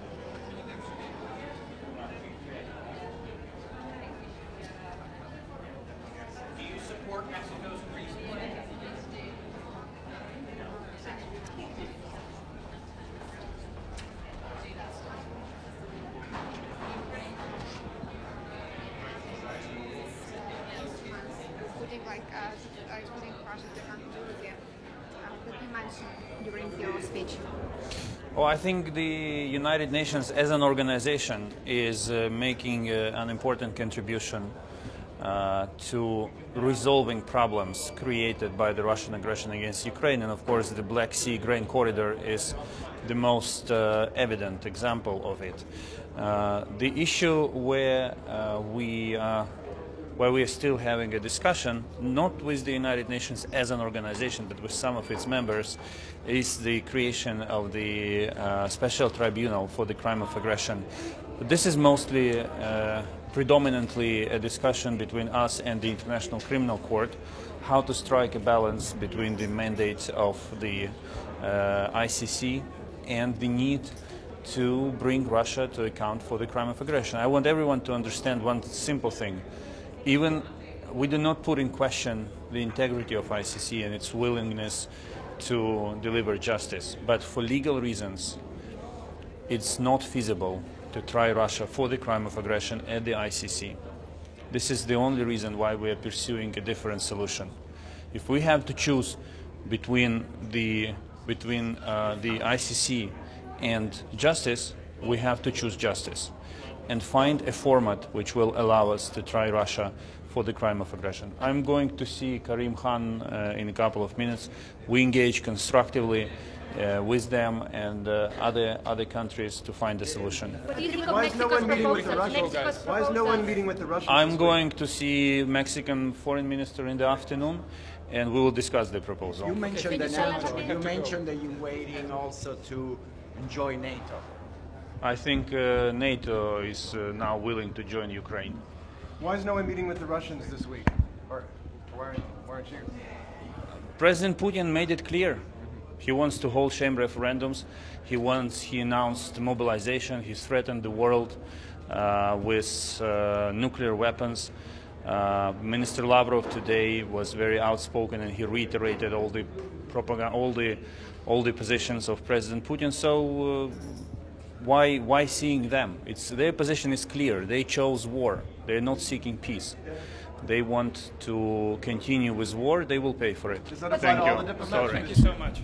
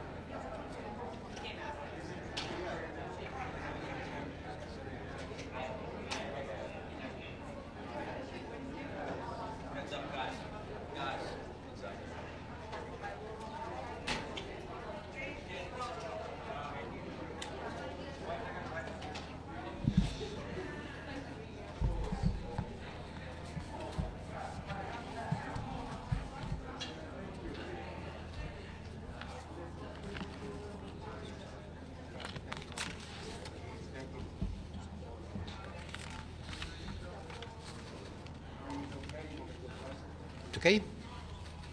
That okay? Good morning. I've just addressed the United Nations Security Council for one of its uh, most important meetings this year. We live in a dangerous world. One permanent member of the United Nations Security Council is breaching the most fundamental pillar of the international rules-based order, United Nations Charter.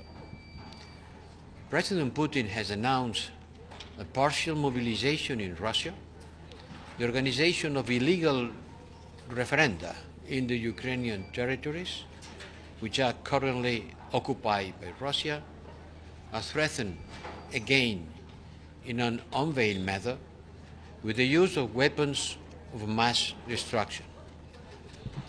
These actions, this Russia's action, continue threatening peace and security not only in Ukraine but in Europe and elsewhere, and is having severe global consequences in the form of increased food security and rising energy prices. And the world leaders gathered here must be united in condemning this. This is an irresponsible and cynical attempt to undermine the steadfast support to Ukraine. We have shown total disregard for the values of the United Nations. Yes, this is the way it is. President Putin is acting showing complete disregard for the values of the United Nations and this chamber, as the world community, to be united to refuse it and to work for peace and progress. Now, President Putin wants to extend further the cost of war and also to the Russian population through this partial mobilization. One thing is clear Putin wants to destroy Ukraine and he is not succeeding military. Russia has brought immense suffering upon the Ukrainian people. Every day we learn about uh, atrocities committed by the Russian troops. These are tragic stories of broken families who will never see again their loved ones. I witnessed it myself, exhumation of the bodies of the killed people in Bucha when I traveled to Ukraine last April. We have seen the accounts from Mariupol where people were purposely starved.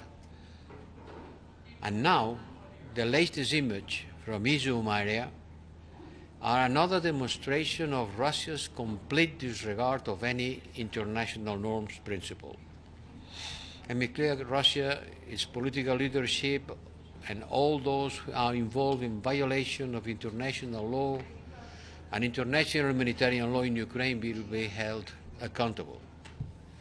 The International Criminal Court can count on the European Union's unwavering support.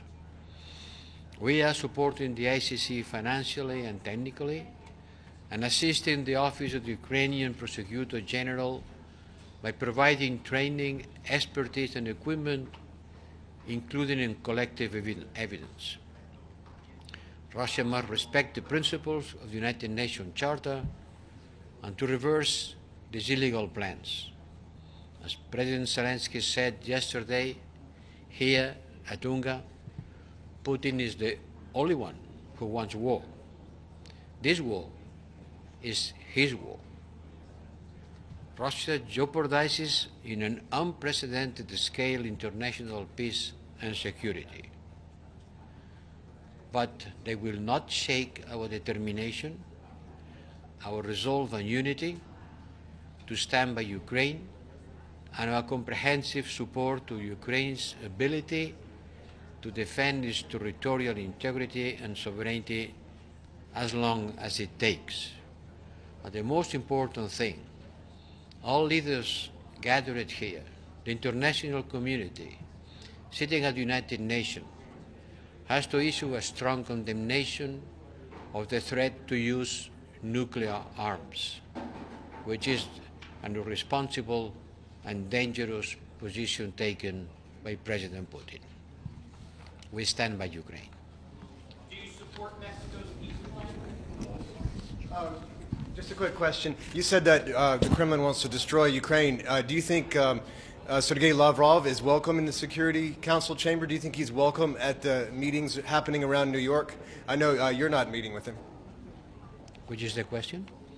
So the question is, is should he be welcomed here? In this, con- if his country's trying to destroy Ukraine, do you think he has a, a role to play here? Um, you know, he just gave his remarks and walked out. Uh, Russia is a member of the United Nations. and He has the right to attend the meetings. Hi, Michele Kelemen, NPR. Um, just to follow up on that, what did you make of Lavrov's comments? Um, it seems like this international condemnation. You Could can't hear? No. I'm sorry. I cannot hear, the- I cannot I'll, understand. I'll do louder. I just with the microphone. I don't want to screw up that. Um, what do you make of Lavrov's comments? And it seems like international condemnation doesn't move uh, the Russians. Is there anything concrete that the EU is going to do about these annexation plans? Concrete? You mean concrete? Look, since the beginning of the war, we are supporting Ukraine by concrete means, providing military support and arms. It is the first time in our history that we are providing financing for military equipment to a country in war. We have approved a tougher package of sanctions against the Russian economy.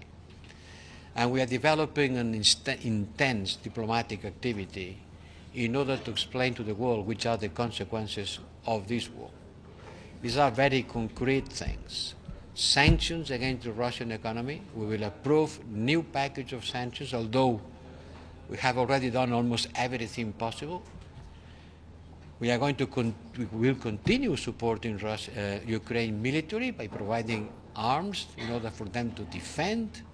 And here, the United Nations, and every day, everywhere, we fight the battle of narrative in order to confront the lies of Russia, trying to convince the world that the hunger that they create by blocking the export of, of Ukrainian grain is the consequences of our sanctions. These are concrete actions. Last question, Stampa. Can you elaborate on what the European Union is ready to do in terms of sanction and military supply to Ukraine, and what will be the reaction if uh, Putin follow through with the threat to use uh, uh, nuclear weapons? Look, we know that uh, Putin is being pushed to the corner by the success of the Ukrainian military and their counteroffensive. He's in a very dire situation, military. That's why he's calling 300,000 reservists and why he's threatening with nuclear uh, weapons. It's certainly a dangerous situation because we don't know what Putin is able to do. We don't know. He should go to the negotiation table and, and stop the war. But what we see is that he continues bombing Ukraine and he's continuing escalating in the war.